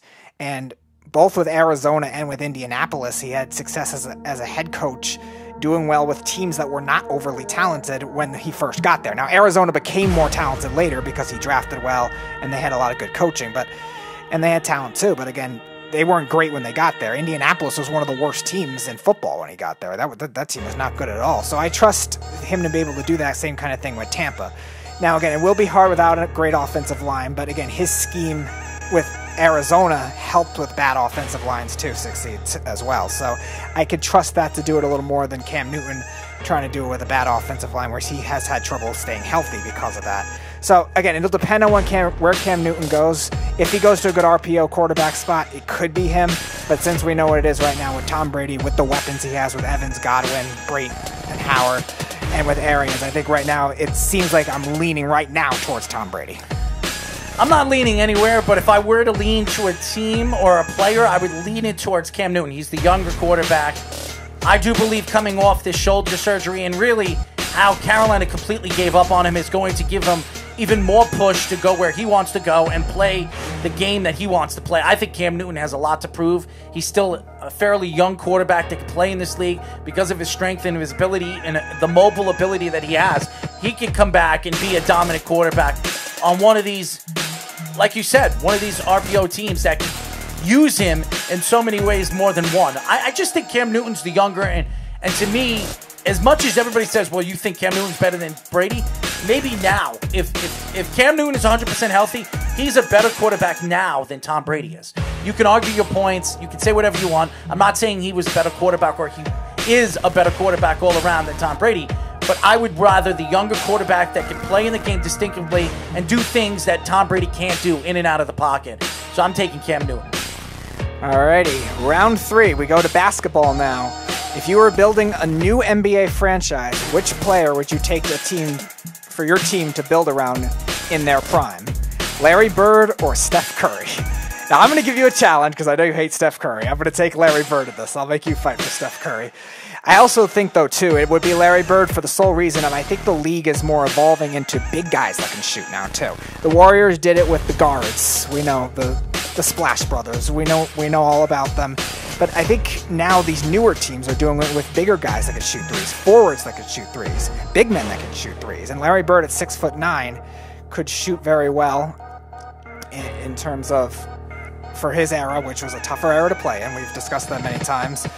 Uh, he was very great from the, right from the free throw line, which is much easier to get to the hoop now. We're saying Michael Jordan could score 50 points in today's NBA. Larry Bird would get to the line a lot in today's NBA, and he was an 88% free throw shooter in almost every season that he played in in the NBA. And again, I think in terms of the way the league has changed from what it was in the 80s, the 80s you had a lot of great players all together. Now you team up with somebody. He's also going to get a lot more opportunity, more touches on the ball too, which I think will help elevate his numbers as well. So I'm going to take Larry Bird for this one. Now, I would have taken Larry Bird, but of course, you'd be know, a I- prick. You, I'm giving you a challenge. You're going to give me Steph Curry, so I'll argue my points here. Steph Curry, to me, is not a top five point guard of all time. But what Steph Curry does better than everybody else in, in history is efficiently hit three point shots. And in the NBA, especially in the 90s, if there was a player of that magnitude, which there wasn't, and there were there were there were Stojakovic, there was other guys that could hit three point shots and do the things that you see NBA players doing right now, but not as efficient as Steph Curry and what Steph Curry has done in the league in the last five or six years. Now, I think because of that, it could have changed the game in the 90s and the 80s. The game, the way you defend against those guys, the way you play against those guys, that could have changed everything for the game. And maybe the three point shot would have been more included and more important for guys like Michael Jordan to really develop his game. So Steph Curry could have changed the game in that magnitude. Would I have taken Steph Curry over Larry Bird? Probably not because of leadership. I think Larry Bird was a better leader. But as far as talent is concerned, you can argue that Steph Curry is, is as talent as Larry Bird in ways that Larry Bird was not good at. Larry Bird was a good ball handler, and he was he played point guard at certain aspects of the game at certain you know times of the game that they needed him to bring up the ball. But Steph Curry is the ball handler. He is the point guard. He is the guard. He's the guy that everybody depends on. Changes the offense for Golden State. You can see the difference when he's in the lineup and when he's not in the lineup. What their record is. So if you want to argue that point, it would be Steph Curry. As far as all around leadership, it would be Larry Bird. So my argument wouldn't be that who I would take. It's really who I would build my team around in, in the particular time. So it would be Steph Curry if, if I were to argue that.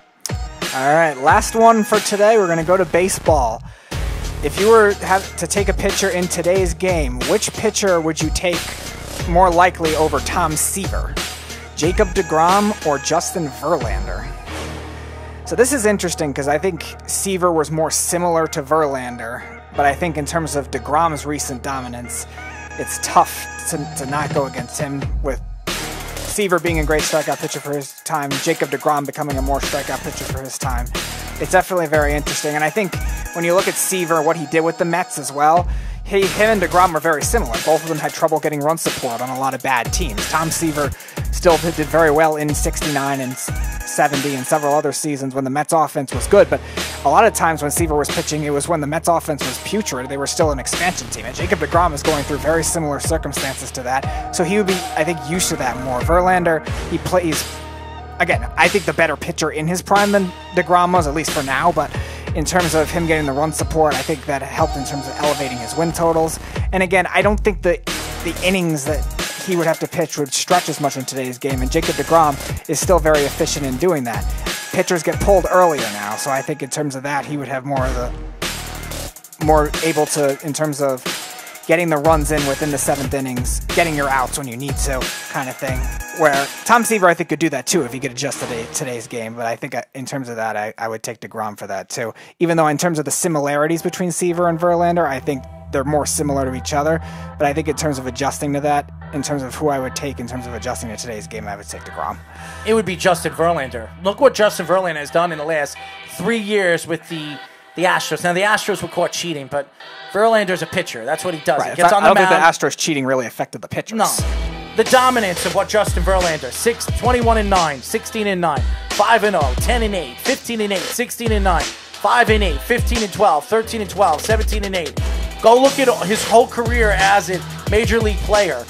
He's only had two losing seasons, and really the two losing seasons was 2008 and when they were really, really bad, uh, when Detroit was really, really bad, and 2005 when he was a rookie. He was 0 2. I mean, this guy has been one of the most dominant pitchers in baseball for the last almost 15 years. Uh, his ability to go pitch in the playoffs, something that DeGrom has only done really once in his career. Really once. He played in two playoffs, but He's done it one year. This guy did it year in and year out for Detroit. He did it year in and year out for Houston, and he won a championship. And he was the, as good as any pitcher in baseball when he was doing it. So, and, and and look at what he's done for the last couple of years. He was a Cy Young winner last year, and what he did last year at the age that he was. And and look at it. Look at the Cy Youngs he should have won all these years. That he got robbed a couple of years ago, where he his own wife came out and said on on social media, right. took shots at the baseball union and all the, the people voting and all the, the writers voting. I just think what Justin Verlander has done as a starting pitcher has been so far and so long for what Jacob DeGrom has done. The dominance of Jacob DeGrom last two years, there's no question he has been. He's also in the National League when when Verlander's been doing it in the American League his whole career with against better batters, better hitters, better power, and have to face against the DH every single day. That's something Jacob DeGrom has not done, and that's the difference. And I look at that as a big picture. Now, Jacob DeGrom has done it two years. Is he a Hall of Famer right now? He's not. Verlander, if he were to retire right now, he's a Hall of Famer. He's one of the best. Tom Seaver, when you try to compare Tom Seaver, one of the greatest pitchers of all time, to a pitcher, you can take Justin Verlander. You can take pitchers of that magnitude because Tom Seaver's a Hall of Famer. Justin Verlander is going to be a Hall of Famer. Jacob DeGrom is not a Hall of Famer, not yet, and we can't even predict that in the next three or four years until we see the dominance that we've seen in the last two years. So, in my eyes, it is Justin Verlander. Mm-hmm. And that is our debate hour for today on Down to the Wire. You guys can watch the replay. As you know, me and Speedy argue our points. Tomorrow will be another edition of Debate Hour. We will have another guest tomorrow. I want to give a shout out to Perry Williams, two time Super Bowl champion, uh, keynote speaker for the New York Giants, uh, calling the show LIU. Uh, he's the director of the LIE program who is. Uh, he's been fantastic. It was a great interview. I really appreciate him joining us today on this edition of Down to the Wire. Uh, Speedy Petey is still fi- trying to figure out what color he wants to sell at the vibrating, uh, si- you know, situation. So once we get the number and the color, we're gonna start, you know, pushing him out, and Speedy will be pushing out his his product, his name, his brand of vibrators. What are we gonna call it? The Speed Sensation. Oh God. Yeah, I'll try to Speedy get, Sensation. I'll get rid of them all as fast as I can, so you don't have to talk about. Them. No, no, no, no, no. You get rid of them we got to see the color. We got to see the different uh, logos and slogans that you're going to have on it. Because I think it'll draw people more, and especially with you being a high-priced superstar, I think that will sell to the public. So I think it's going to be great for us, and, and a great opportunity to watch Speedy in action and going out there and talking and selling products to people. And why not it be the first product he ever sells, a vibrator? Oh God. What? You don't want to do it? Uh, It was supposed to be a simple thing, and now you've turned it into something more sophisticated. It is sophisticated. It is great, and I think it'll be great for you. You get out there, you meet new people, and and you'll make some money. You know, this is this is something that you've been uh, dreaming about for a long, long time. Not Why not do it with the Not vibrator? really. The vibrator, which I think is a great selling key for you, not only for women but for men. God. What do you think? No, it wasn't supposed to be this sophisticated. It was supposed to be something to make. I I don't think it's sophisticated. I think it's going to make You're you money. saying make all all different colors, all different slogans. Yeah, well, but the colors Promote yourself. Well, but- yeah. I think you need to. I think it'll be great for you, and it'll help the product out on what you're trying to sell. Why not do it the right way, Speedy? If you're going to do it, you're going to do it the right way. Am I right or wrong? God. Am I right or wrong? I don't know. I don't know what I. I don't know what it is anymore. Come on, Speedy. You know exactly what it is. It's great for you and it's great for the product. So, as you know, you can reach Speedy by um, reaching out on our website by going to www.worldwidesportsradio.com. Shout out to Dan. He wrote a couple of new stories, uh, great stories. If you if you like a good writer, you like good sports media and good, uh, really a good blog writer, you go to Dan Dan Rodzicki, who's uh, one of our executives, our guys that run our our. Our blog writing. So you can check out Dan. Speedy wrote a story. It's a great story. You can check it out. Um, again, another person that can write for our network. Evan has a couple of new stories up on our website, so you can check out his stories too. And I'm going to start writing again as well. Um, we will be back tomorrow at 6 p.m. Uh, new show, new stories, new arguments. So stay tuned for that. Until tomorrow, this is Errol Marks and Speedy PD and Down to the Wire saying good night, and we'll talk to you then. Good night, everybody. You're, you're, you're listening to the Worldwide